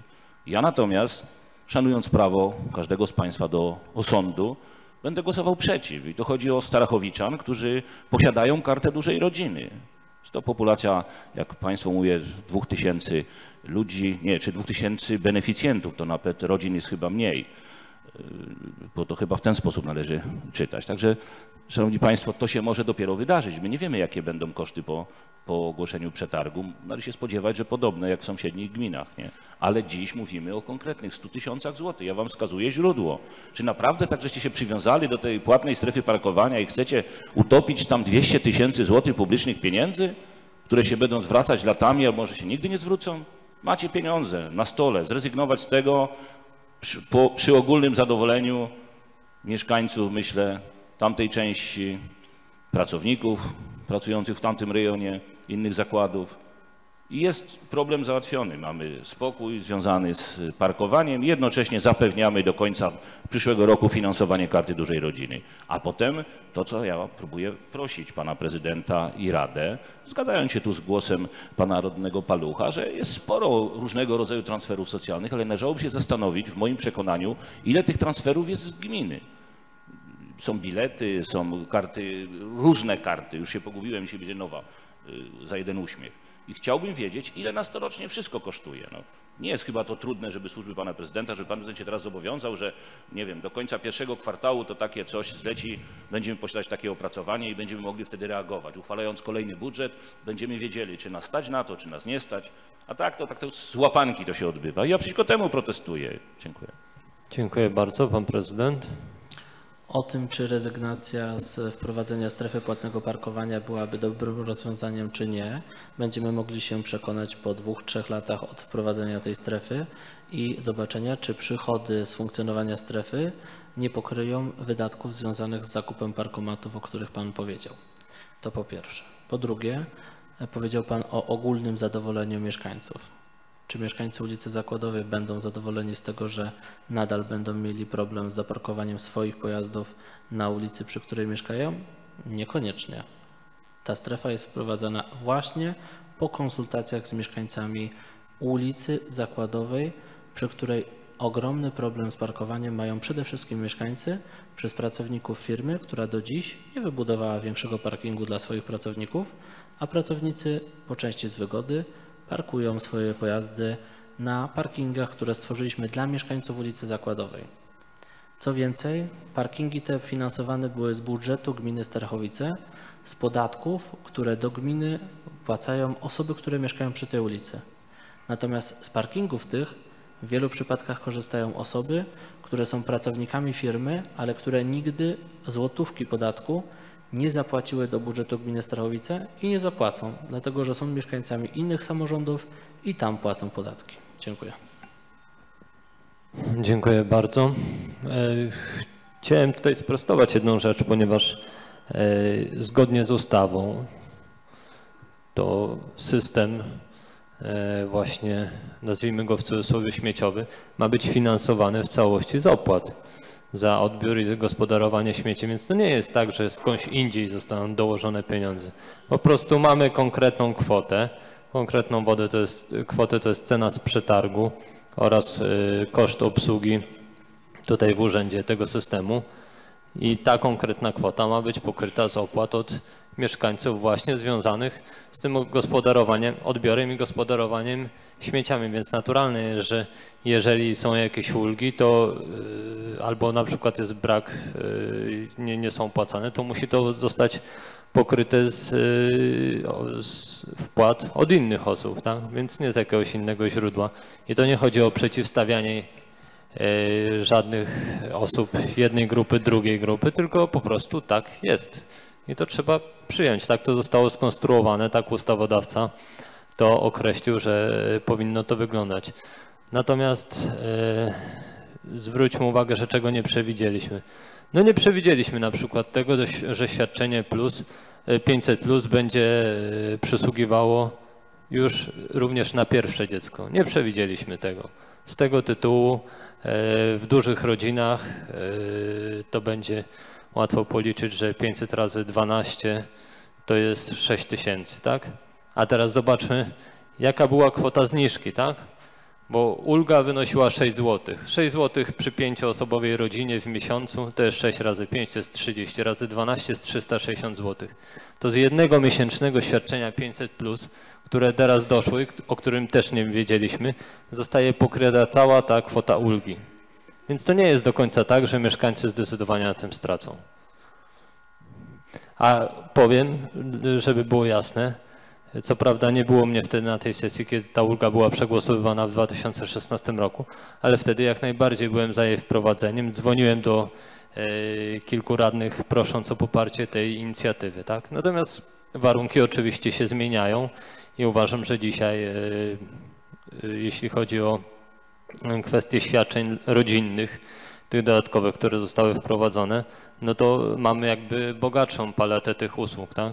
Więc ta y, wartość tej ulgi w perspektywie tego szerokiego wachlarza, które zostały uchwalone na poziomie centralnym w naszym kraju, ona po prostu ginie gdzieś w tym. Dziękuję. Pan radny Bronisław Paluch. Świecił się to, czy nie? Ja pragnę zwrócić uwagę Rady, że mieszkańcy budownictwa wielo- wielorodzinnego, tak zwanych bloków spółdzielczych, płacą wszyscy za wywóz nieczystości terminowo i w pełnej wysokości, nawet jak gdyby ci, którzy mają zaległości czynszowe, bo oto Starachowicka, na przykład spółdzielnia mieszkaniowa czy spółdzielnia Wanacja, pełne kwoty co do imentu, co do złotówki przekazuje regularnie, prawda? Tak, I teraz ci spółdzielcy płacą e, też pewną część, istotną część e, z kwoty tych, e, który, tych, którzy nie płacą po prostu, ma- mają zaległości, prawda? Poza budownictwem wielorodzinnym to co mają jeszcze finansować, a z jakiej racji ja się pytam, mają finansować tą część społeczeństwa, która jest przedmiotem szczególnej troski władz, no, no ta dyskusja jest czcza po prostu i ja nie wiem do czego ona prowadzi. Proponuję zakończyć i, i zagłosować. Dziękuję. Pan radny Sylwester Kwiecień. Widzicie, Szanowni Państwo, może taka dyskusja powinna się odbyć właśnie taka do bólu w momencie, gdyśmy tę ulgę wprowadzali. Wtedy nie było takiej dyskusji. Może dlatego dzisiaj ona no, jest trza, nie trza, ale myślę, że powinna się odbyć.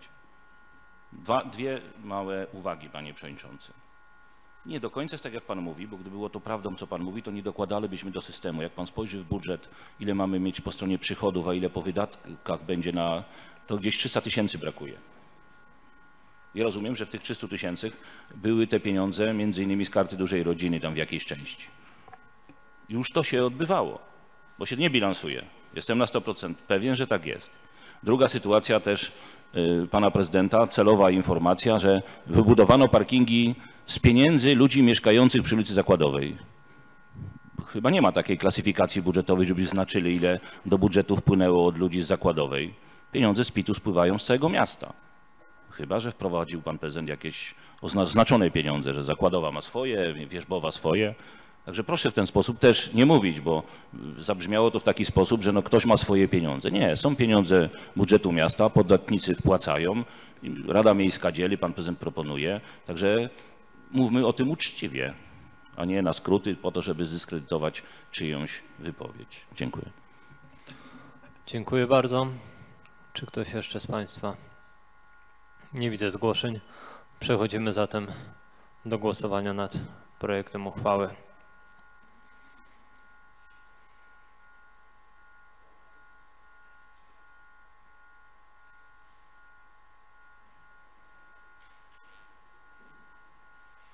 Szesnaście głosów za, trzy głosy przeciw, nikt się nie wstrzymał od głosu. Stwierdzam, że uchwała została przyjęta. Przechodzimy do uchwały w podpunkcie ósmym w sprawie średniej ceny jednostki paliwa. Chodzi o zwroty dla rodziców dzieci niepełnosprawnych, które są dowożone do szkoły. Nie widzę zgłoszeń. Przechodzimy zatem do głosowania.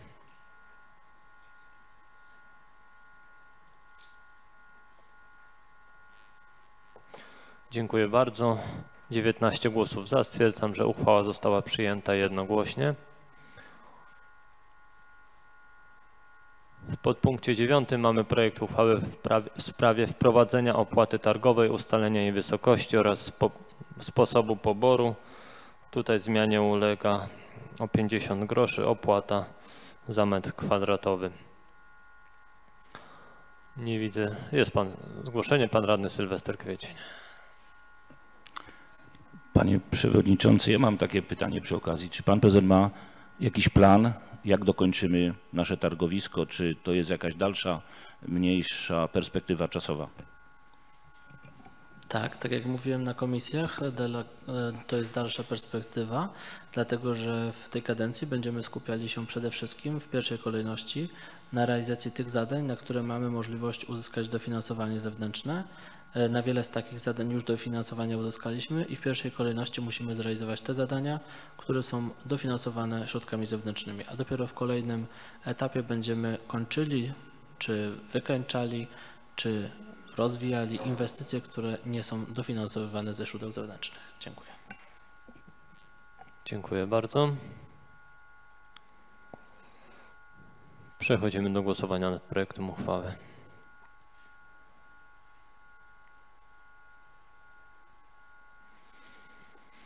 18 głosów za, nikt nie był przeciw, jedna osoba wstrzymała się od głosu. Stwierdzam, że uchwała została przyjęta.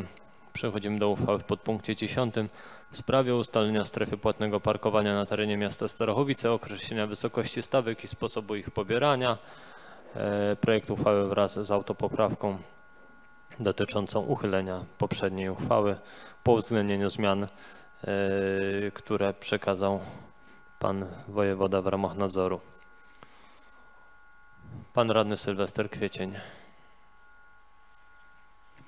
Panie Przewodniczący, Panie i Panowie Radni, ja chciałbym zabrać głos w kontekście odpowiedzi, jaką otrzymałem od Pana Prezydenta.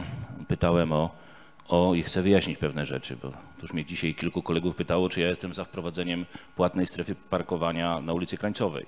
Otóż nie jestem za wprowadzeniem nigdzie w Starachowicach na ten moment płatnej strefy parkowania. Uważam, że to nie jest czas, nie ma szczególnego uzasadnienia. Oprócz, nie wiem, postulatów kilku mieszkańców ulicy Zakładowej, bo ja powiem panu, panie prezydencie, że nawet wczoraj prosiły mnie osoby mieszkające na Zakładowej, żebym zabrał głos i próbował namówić Radę, żeby z tego zrezygnowali. Więc należy przypuszczać, że są głosy i takie, i takie. Teoretycznie mówiłem o tym na komisji. No, ta uchwała może spowodować takie zdarzenie. Co się wydarzy, jak MAN wesprze swoich pracowników, nie mając swoich miejsc parkingowych, jak pan mówi, a ma tyle, ile potrzeba zgodnie z planem, i wykupią te miejsca. Co się tam będzie wtedy działo? No będzie wojna tych, co przyjadą spoza rejonu zamieszkania i tych, co tam mieszkają. Kolejna rzecz, y, przecież ci mieszkający tam nagle wprowadzano, mają dodatkową opłatę. No ktoś powie, dobra, tylko 25 zł. No tak, 25 zł dla właściciela mieszkania, osoby mieszkającej tam. No ale do tej osoby przyjeżdża rodzina no, na imieniny dwa razy w roku, no i też musi te, tą opłatę ponieść. No więc ten gospodarz prawdopodobnie musi godnie się zachować i zasponsorować ten pobyt. Znowu wchodzimy w obszar takiego dużego zamieszania. Także panie prezydencie, a już myślę, największym błędem w tej uchwale jest wprowadzenie miejsca płatnego parkowania przy Starowickim Centrum Kultury. Z jednej strony zainwestowaliśmy tam pieniądze, chcemy inwestować jeszcze ponoć pieniądze, a tam chcemy wprowadzić miejsca parkowania. Dość mamy ich niedużo. To jeszcze będzie. Mało tego, ten pana e, świetny pomysł, e, jak połączymy te dwie instytucje, a tu płatna strefa. Także, Szanowni Państwo, naprawdę nie do końca w moim przekonaniu zostało to wszystko przemyślane, skalkulowane i dlatego apeluję, Panie Prezydencie, o rezygnację z tego pomysłu. Odbył Pan spotkanie z mieszkańcami, o którym tu informował wcześniej, razem z Panem Przewodniczącym. Tam mieszkańcy skutecznie się obronili przed płatną strefą parkowania. Może i tu należałoby się zastanowić, żeby wyeliminować y, te, te złe praktyki, że ktoś tam komuś miejsce, ale tego się nigdy nie wyeliminuje. Ja myślę, że zamieszanie będzie spore. A teraz kwestia mojego wyjaśnienia. Ja zadałem pytanie na poprzedniej sesji o takie trochę nierówne traktowanie pracowników MANA, którym się wprowadza, nie wiem ilu ich tam parkuje, e, ale opłatę, e, natomiast na Krańcowej buduje się parkingi. I chcę powiedzieć, że bardzo dobrze, że na Krańcowej buduje się parkingi. Natomiast, tak jak powiedziałem panu wcześniej, e, pan mi tu odpowiedzi, że pan nie wie, dlaczego poprzednicy nie wybudowali miejsc parkingowych przy ulicy 1 Maja. Wypadało może zapytać któregoś z tych poprzedników, panu powiedzieli dlaczego. Odpowiedź jest prosta. Nie ma terenu. To tak jak ja dzisiaj zadawałem panu pytanie, dlaczego pan nie wybudował chodników przy ulicy Żytniej, Podlesie? No, ja znam odpowiedź, no ale wielu będzie pewno o to pana pytało. E, czy wielu o tym dyskutuje? Bo nie interesują się na tyle samorządem, nie wiedzą, że ten fundusz ogranicza się do takich działań, inny do innych. Także panie prezydencie, na przyszłość to prosiłbym o tak trochę mniej złośliwości w tego typu odpowiedziach. Ja wiem, że taki trochę kompleks jest. E, nie wiem dlaczego, bo pan tak lubi wytykać tego typu rzeczy. No pan nie wie, dlaczego czegoś nie zrobiono. Pan to doskonale wie. Proszę mi wskazać dziś miejsce, gdzie na 1 maja wybudowałby pan co najmniej 90 miejsc parkingowych. Koło szkoły, zaznaczam, zostały wybudowane na tyle, na ile prawo o ruchu drogowym zezwalało. Dziękuję. Dziękuję bardzo, pan prezydent. E, Szanowni Państwo, na temat strefy płatnego parkowania dłuższej wypowiedzi nie będę udzielał, dlatego że na ten temat dyskutowaliśmy już podczas poprzednich sesji. Natomiast odnosząc się do pomysłu tego, że firma MAN wykupi miejsca dla swoich pracowników, trochę powątpiewam w to, dlatego że w swojej wypowiedzi również zwrócił Pan uwagę na to, że liczba miejsc parkingowych przy zakładzie jest zgodna z planem i jest wystarczająca, więc tak naprawdę nie ma powodów, żeby poza parkingiem Mana e, zakład kupował jakiekolwiek miejsca dla swoich pracowników, skoro tych miejsc powinno wystarczyć na terenie zakładu. A jeśli chodzi o inwestycje przy ulicy Krańcowej, to my mając możliwość, aby wykorzystać teren gminny i wybudować te miejsca, po prostu je budujemy. Jeśli chodzi o budowę miejsc postojowych przy ulicy 1 Maja, gdybym miał możliwość realizować tę inwestycję wcześniej, to wykonał je bym tam, gdzie użyczyliśmy terenu gminnego przy ulicy dla firmy MAN i firma już w tej chwili część miejsc tam wybudowała. To jest raz.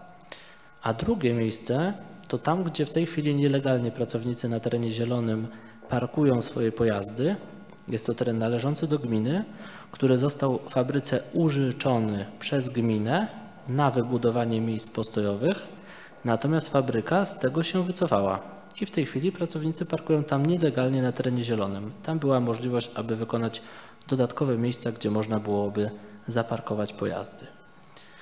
E, imieniny obchodzimy raz do roku. Dziękuję. Pan radny Sylwester Kwiecień. Muszę panie prezydencie wyjaśnić pewną kwestię związaną z tym parkingiem. Niech pan y, tak głośno o tym nie mówi, bo my naprawdę użyczyliśmy Manowi na 10 metrach pas półtora metra. To była nasza pomoc w, tym, w tej części, gdzie za stołówką zrobiono parking. Natomiast rzeczywiście ta druga część, gdzie planowano zrobić parking, po analizach okazało się, że koszty przekładania infrastruktury całej z tym związanej, że zachowania bezpieczeństwa ruchu drogowego, sposób parkowania wygenerowało, pozwoliłoby tam wygenerować około no, 20 paru miejsc do parkowania, bo to mamy dwa wjazdy. Także dlatego z tego zrezygnowano. I panie prezydencie, na przyszłość niech pan zleci pracownikom, żeby nie szukali zaczepki, bo to nie ma sensu. No, pewne rzeczy w przeszłości też analizowano. Wtedy, gdy budowali, budowano ulicę 1 Maja, w Manie zatrudnionych było 900 osób. Nikt nie spodziewał się, że to dziś będzie prawie 4 tysiące, czy, czy prawie. Czy... Także to, to tak wygląda. No dzisiaj Konstar ma tą przewagę, że jest na obrzeżach miasta, że w zasadzie nie ma, y, można powiedzieć, sąsiadów bezpośrednio, że też parkują na zielonym Żechej. I dobrze, że tam są miejsca parkingowe. Chcę jeszcze raz podkreślić i nie zabiegam i nigdy nie będę zabiegał, żeby tam wprowadzić płatną strefę parkowania. Także to muszę kolegów poinformować, że to jest nieprawda.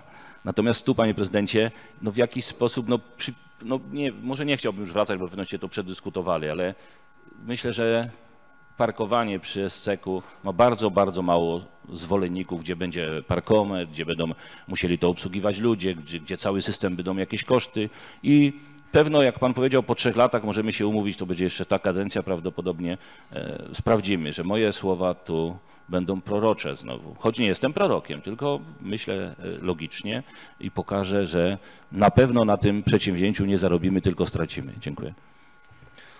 Dziękuję bardzo. Taki wykup miejsc parkingowych chyba przychód podlegający opodatkowaniu, tak a propos, ale to, a, to dwie stówy. E, dobra, przechodzimy do głosowania.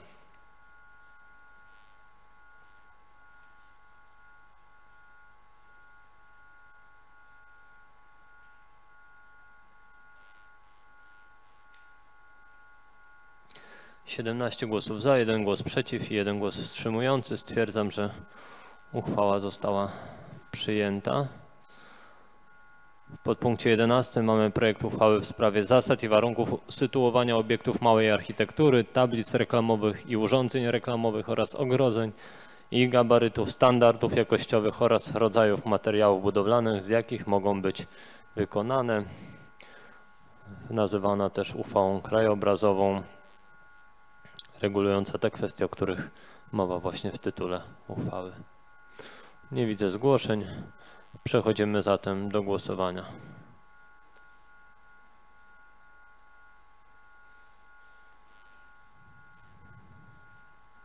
Osiemnaście głosów za, nikt nie był przeciw, jeden głos wstrzymujący. Stwierdzam, że uchwała została przyjęta. W podpunkcie 12 mamy projekt uchwały w sprawie Zmiany uchwał nr 5 przez 17 przez 2016 Rady Miejskiej w Starachowicach z 29 kwietnia 2016 roku w sprawie zasad sprzedaży lokali mieszkalnych gminy Starachowice na rzecz ich najemców zmienionej uchwałą nr 16 przez 9 przez 2018 Rady Miejskiej w Starachowicach z 20 grudnia 2018 roku. Projekt dotyczy sprzedaży lokali Zmiana dotyczy sprzedaży lokali dla najemców powyżej 10 lat, gdzie odliczane będzie 30% wartości. Nie widzę zgłoszeń do projektu uchwały. Przechodzimy zatem do głosowania.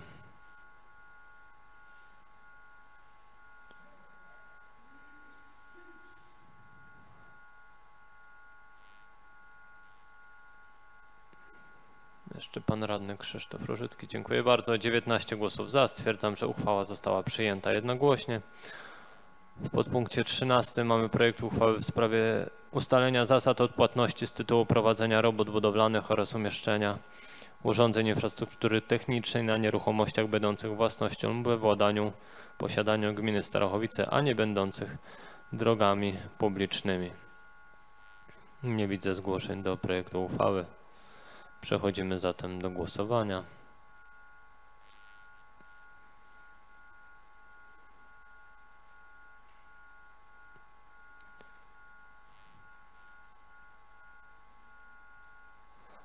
Dziewiętnaście głosów za, uchwała została przyjęta jednogłośnie.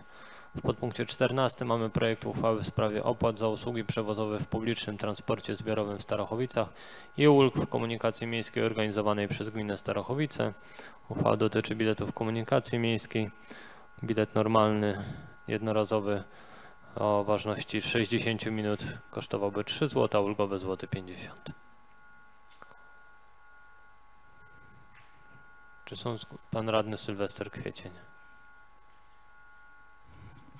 Nie, nie wszystko jest przeciw. Jak prześledzimy głosowanie, to raz głosuję za, raz się wstrzymuję. Nie zawsze jestem przeciw. A że pytam, to moje prawo, korzystam z niego. Panie prezydencie, dobrze pamiętam o budżecie miasta, zresztą dyskutowaliśmy już chyba, wymienialiśmy zdania na ten temat, było przewidziane, jest przewidziane 9,5 miliona złotych na dopłatę. Na komisji ta informacja o, szybko się pojawiła, nie, potrafi, nie, nie uzyskaliśmy odpowiedzi, pytaliśmy o kilka kwestii. Pierwsza to jest taka, ile dzisiaj wpływa do naszego przewoźnika za bilety? Czy mamy taką wiedzę? Tak, 2,5 miliona. To znaczy, że w stosunku do poprzedniego roku, jak to się kształtuje, o ile to spadło?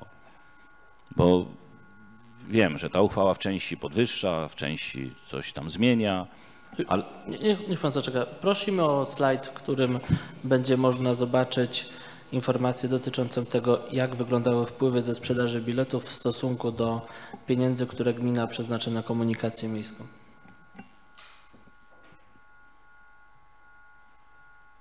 W roku 2014 to była różnica 5 milionów gmina przeznaczała, 3,5 miliona były przychody z budżetów. W roku 2018 gmina przeznaczała na komunikację miejską blisko 7 milionów 300 tysięcy złotych, natomiast wpływy były powyżej 3 milionów 45 tysięcy. W roku 2019 na komunikację miejską gmina przeznaczyła 8 milionów 711 tysięcy, natomiast y, 2 miliony 847 tysięcy złotych to były przychody z tytułu biletów planowane. I rok 2020 e, gmina zamierza przeznaczyć około 8,5 miliona złotych na komunikację miejską, natomiast przychody z tytułu biletów to blisko 2 miliony 800 tysięcy złotych.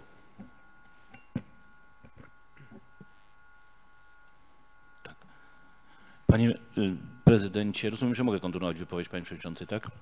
Chciałbym spytać, czy y, prezes połączonych spółek z części MZK finansuje spory sądowe, czy tylko z części ZEC-u? Czy osoby poruszające się transportem zbiorowym w jakiś sposób płacą za adwokata, za to wszystko, co tam się dzieje w tej spółce, czy tylko płacą ci, co korzystają z ciepła? Z której części? E, Jeśli spory dotyczą części ciepłowniczej, to płacą z części ciepłowniczej. E, Gdyby spór dotyczył z praw związanych z komunikacją miejską, płaciłyby to osoby, które dotyczy komunikacja miejska. A jak spór dotyczy zniesławienia całej spółki, to wtedy pracownicy jeżdżący W tym mieszkań... przypadku konkretnym, o który Pan pyta, chodzi o część ciepłowniczą i dotyczy to części ciepłowniczej. Z ciepłowniczej to jest płacone, tak? Dobrze, dziękuję. Dziękuję bardzo. Nie widzę więcej zgłoszeń. Przechodzimy zatem do głosowania.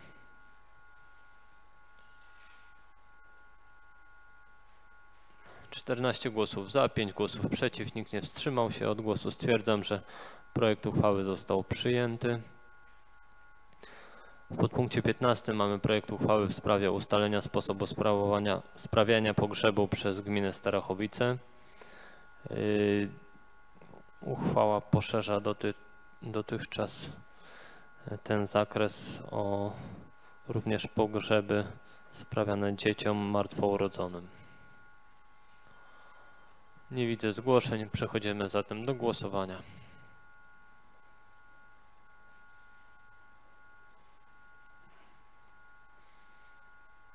Dziewiętnaście głosów za. Uchwała została przyjęta jednogłośnie. W podpunkcie 16 mamy projekt uchwały w sprawie statutu Miejskiego Ośrodka Sportu i Rekreacji w Starachowicach. E, De facto jest to uchwalenie tekstu jednolitego tego statutu, tak żeby było już jasne. Nie było żadnych wątpliwości, które w poprzednich okresach się zdarzały co do tego statutu. Pan radny Sylwester Kwiecień. Ja na Komisji Gospodarczej zadałem pytanie dotyczące, bo pan prezydent tu na jednej z sesji stwierdził, że docelowy sposób, czy że stosowany, ja tak zrozumiałem, chodziło tu o halę sportową przy ulicy Leśnej. Y, I na komisji nikt nie potrafił odpowiedzieć, czy ta hala jest w strukturach, czy dalej jest w strukturach szkoły. Hala na chwilę obecną jest, z tego co pamiętam, w strukturach szkoły, natomiast jej utrzymaniem i gospodarowaniem nią zajmuje się Miejski Ośrodek Sportu i Rekreacji, e, który zadbał o wyremontowanie m.in. tego obiektu w e, ostatnim roku. Dziękuję bardzo. Przechodzimy do głosowania.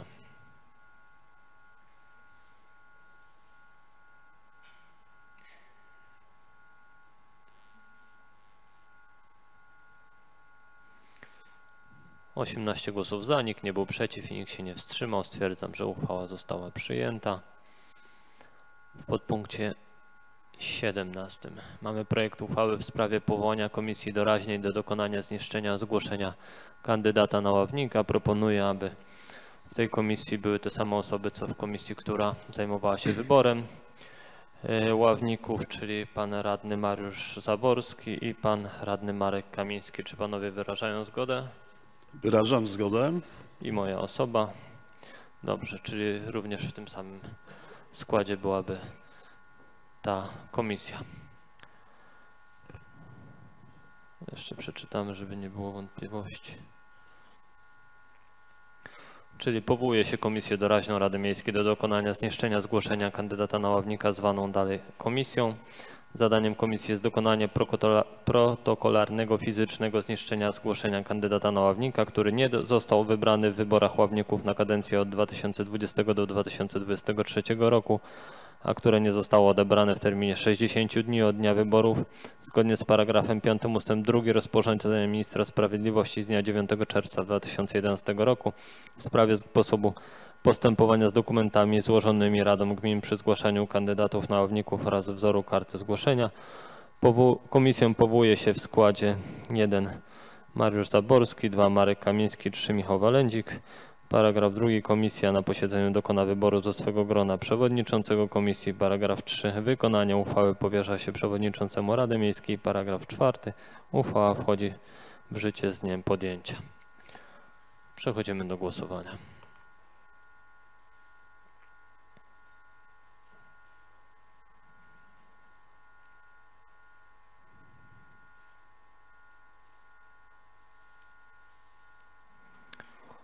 Osiemnaście głosów za. Stwierdzam, że uchwała została przyjęta jednogłośnie. W podpunkcie 18 mamy projekt uchwały w sprawie przyjęcia planu pracy Komisji Rewizyjnej Rady Miejskiej w Starachowicach na 2020 rok.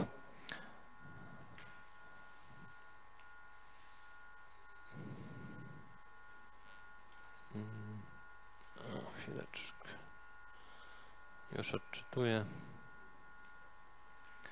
Plan pracy Komisji Rewizyjnej w Starachowicach na 2020 rok, sprawozdanie z wykonania uchwał Rady Miejskiej w Starachowicach za drugie półrocze 2019 roku, sprawozdanie z pracy Komisji za drugie półrocze 2019 roku, opiniowanie rocznego budżetu gminy, sprawozdania finansowego gminy oraz informacji o stanie mienia komunalnego, wystąpienie z wnioskiem o udzielenie lub nieudzielenie absolutorium prezydentowi, Sprawozdania, sprawozdanie z wykonania uchwał Rady Miejskiej w Starachowicach za pierwsze półrocze 2020 roku, sprawozdanie z prac komisji za pierwsze półrocze 2020 roku, kontrole doraźnie zlecone przez Radę Miejską w Starachowicach.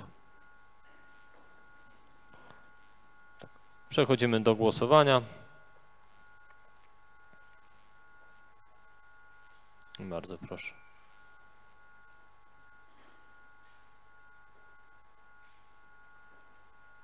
Osiemnaście głosów za. Uchwała została przyjęta jednogłośnie. W podpunkcie 19 mamy wprowadzony do porządku dzisiaj projekt uchwały w sprawie zmiany uchwały nr 14 przez 8 przez 2019 Rady Miejskiej w Starachowicach z 29 listopada 2019 roku w sprawie przyjęcia rocznego programu współpracy gminy Starachowice z organizacjami pozarządowymi oraz innymi podmiotami, o których mowa w artykule 3 ustęp 3 ustawy z dnia 24 kwietnia 2003 roku o działalności pożytku publicznego i o wolontariacie na rok 2020. Uchwała dotyczy zmiany zapisu o, wejście, o wejściu w życie przepisów tej uchwały. Jest to e, zmiana dokonana po e, piśmie pana wojewody. Przechodzimy do głosowania.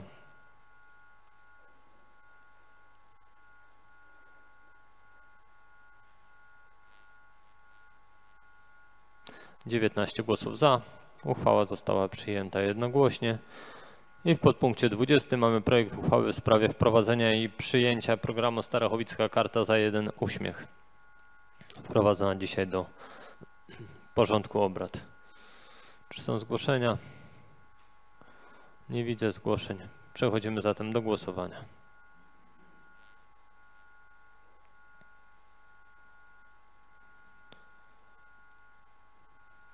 Dziewiętnaście głosów za. Stwierdzam, że uchwała została przyjęta jednogłośnie. W ten sposób kończymy punkt dziewiąty porządku obrad, to jest pozostałe projekty uchwał i przechodzimy do punktu dziesiątego. Interpelacje, zapytania i wolne wnioski. Pan radny Krzysztof Różycki.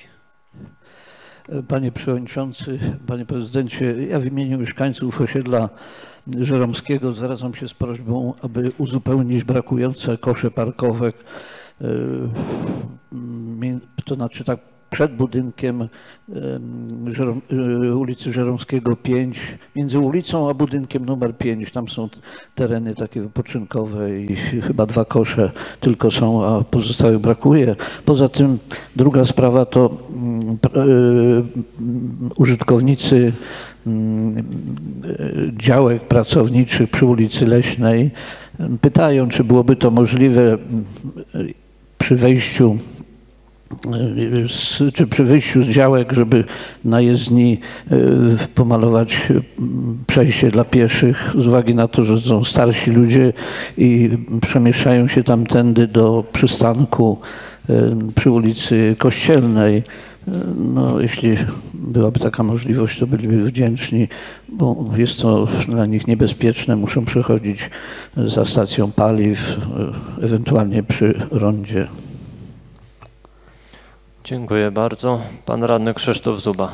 Panie Przewodniczący, Wysoka Rado, Panie Prezydencie, y, ja mam interpelację w- imieniu nauczycieli wychowania fizycznego szkół podstawowych w Starachowicach i w swoim oczywiście w sprawie stworzenia funduszu, który umożliwi kontynuację chlubnego zwyczaju finansowania przez miasto pucharów, dyplomów i nagród uczestnikom szkolnych zawodów sportowych w randze mistrzostw Starachowic. No i więcej jest w tekście. Dziękuję. Dziękuję bardzo. Pan radny Mariusz Zaborski, Ko, Mariusz Konarski, przepraszam. Panie Przewodniczący, Panie Prezydencie, Szanowni Państwo, swoją pierwszą interpelację chciałbym złożyć e, w sprawie ulicy Zacisze w związku z licznymi apelami mieszkańców i to nawiązaniu do moich wcześniejszych interpelacji związanych z remontem tej ulicy. E, Chciałbym się zwrócić z prośbą o mm, wyrównanie nawierzchni tej drogi gruntowej oraz naprawienie oświetlenia ulicznego.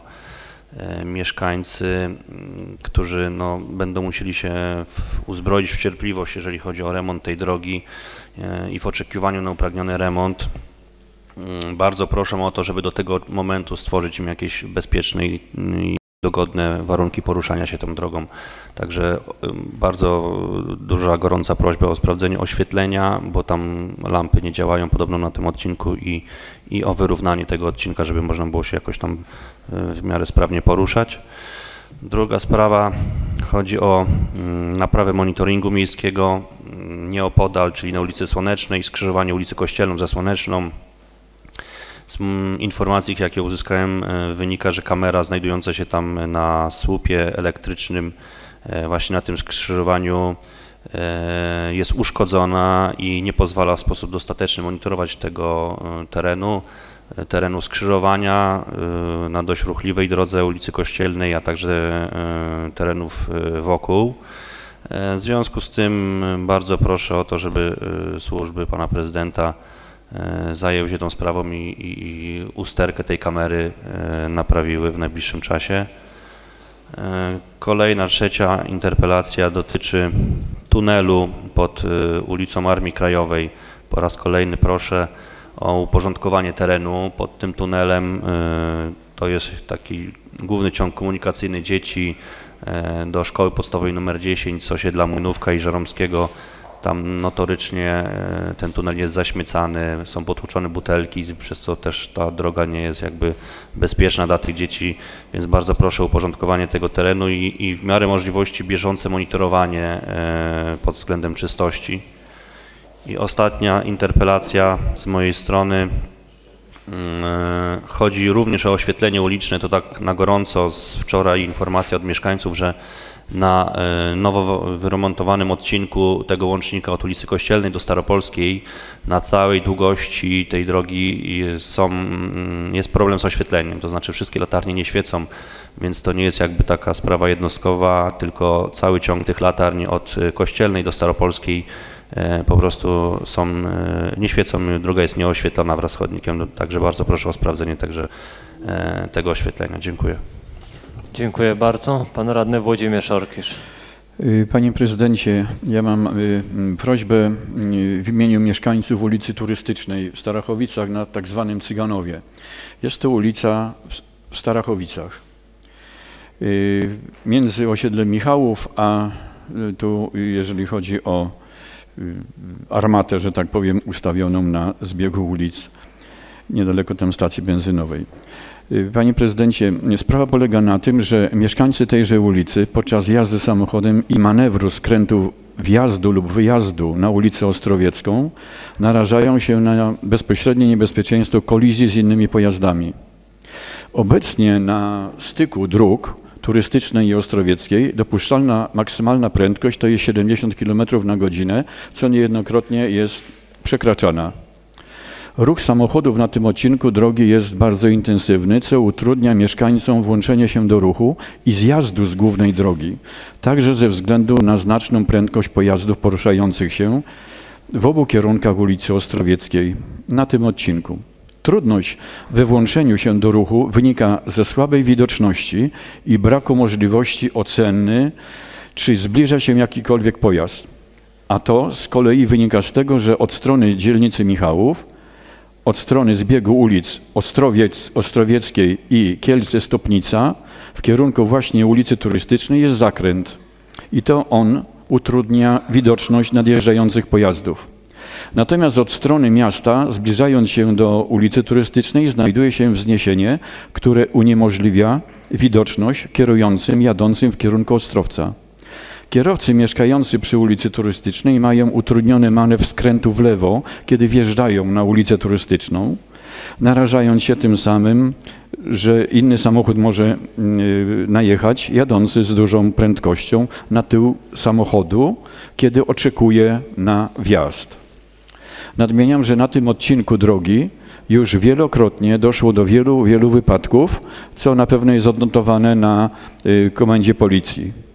Celem uniknięcia kolejnych proponuję, by na tym odcinku zostały ustawione znaki ograniczające prędkość y, do 40 km na godzinę. Pierwszy znak powinien ustawiony być przy zbiegu ulic dróg Ostrowieckiej i Kielce-Stopnica w kierunku centrum Starachowic. Drugi znak powinien być ustawiony przed wzniesieniem i przystankiem autobusowym w kierunku Ostrowca Świętokrzyskiego, gdzie znajduje się też przejście dla pieszych. Państwo rozumiecie, ludzie wysiadają, wysiadają y, z autobusu w jedną czy w drugą stronę i tam jest przejście. Ludzie muszą przechodzić, natomiast samochody nie zwalniają, ponieważ mają dopuszczalną prędkość 70 na godzinę.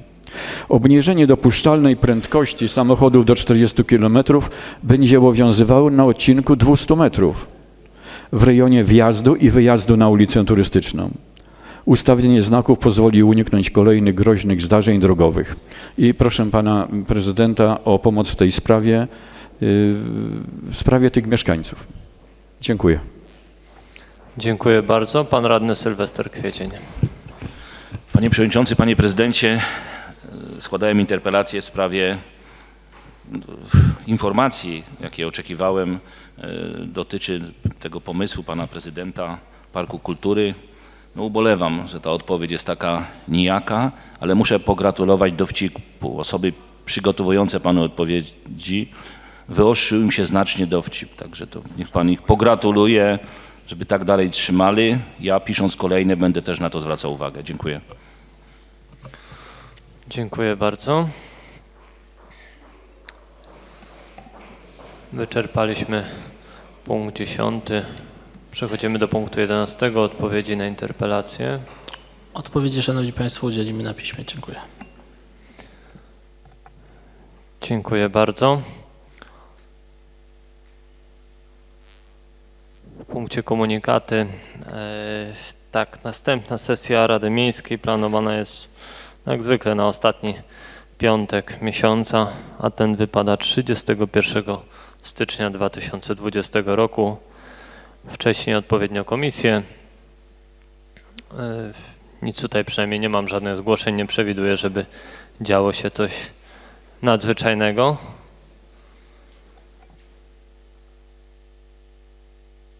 Szanowni Państwo, z racji, że widzimy się ostatni raz przed świętami w tym gronie, w tym roku, e,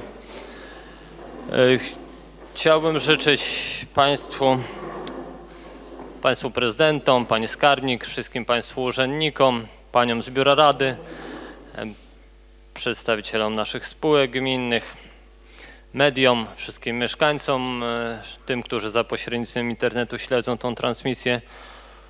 E, Chciałbym życzyć tego, żebyście Państwo e, porzucili już te obowiązki, których nie zdążycie zrobić, takie sprzątania, te zakupy, których się nie zdąży, a po to, żebyśmy przeżyli te święta, nie przeleżeli ze zmęczenia, e, żeby nie przeszły gdzieś obok nas. Także życzę dobrego przeżycia świąt Bożego Narodzenia, znalezienia czasu dla bliskich, dla rodziny, znalezienia czasu, bo to bardzo ważne, tylko dla siebie i, no i znalezienia czasu dla tajemnicy Bożego Narodzenia, tak żeby e, te święta rzeczywiście były dla nas świętami. No i wszystkiego dobrego w nowym 2020 roku. Wszystkiego dobrego.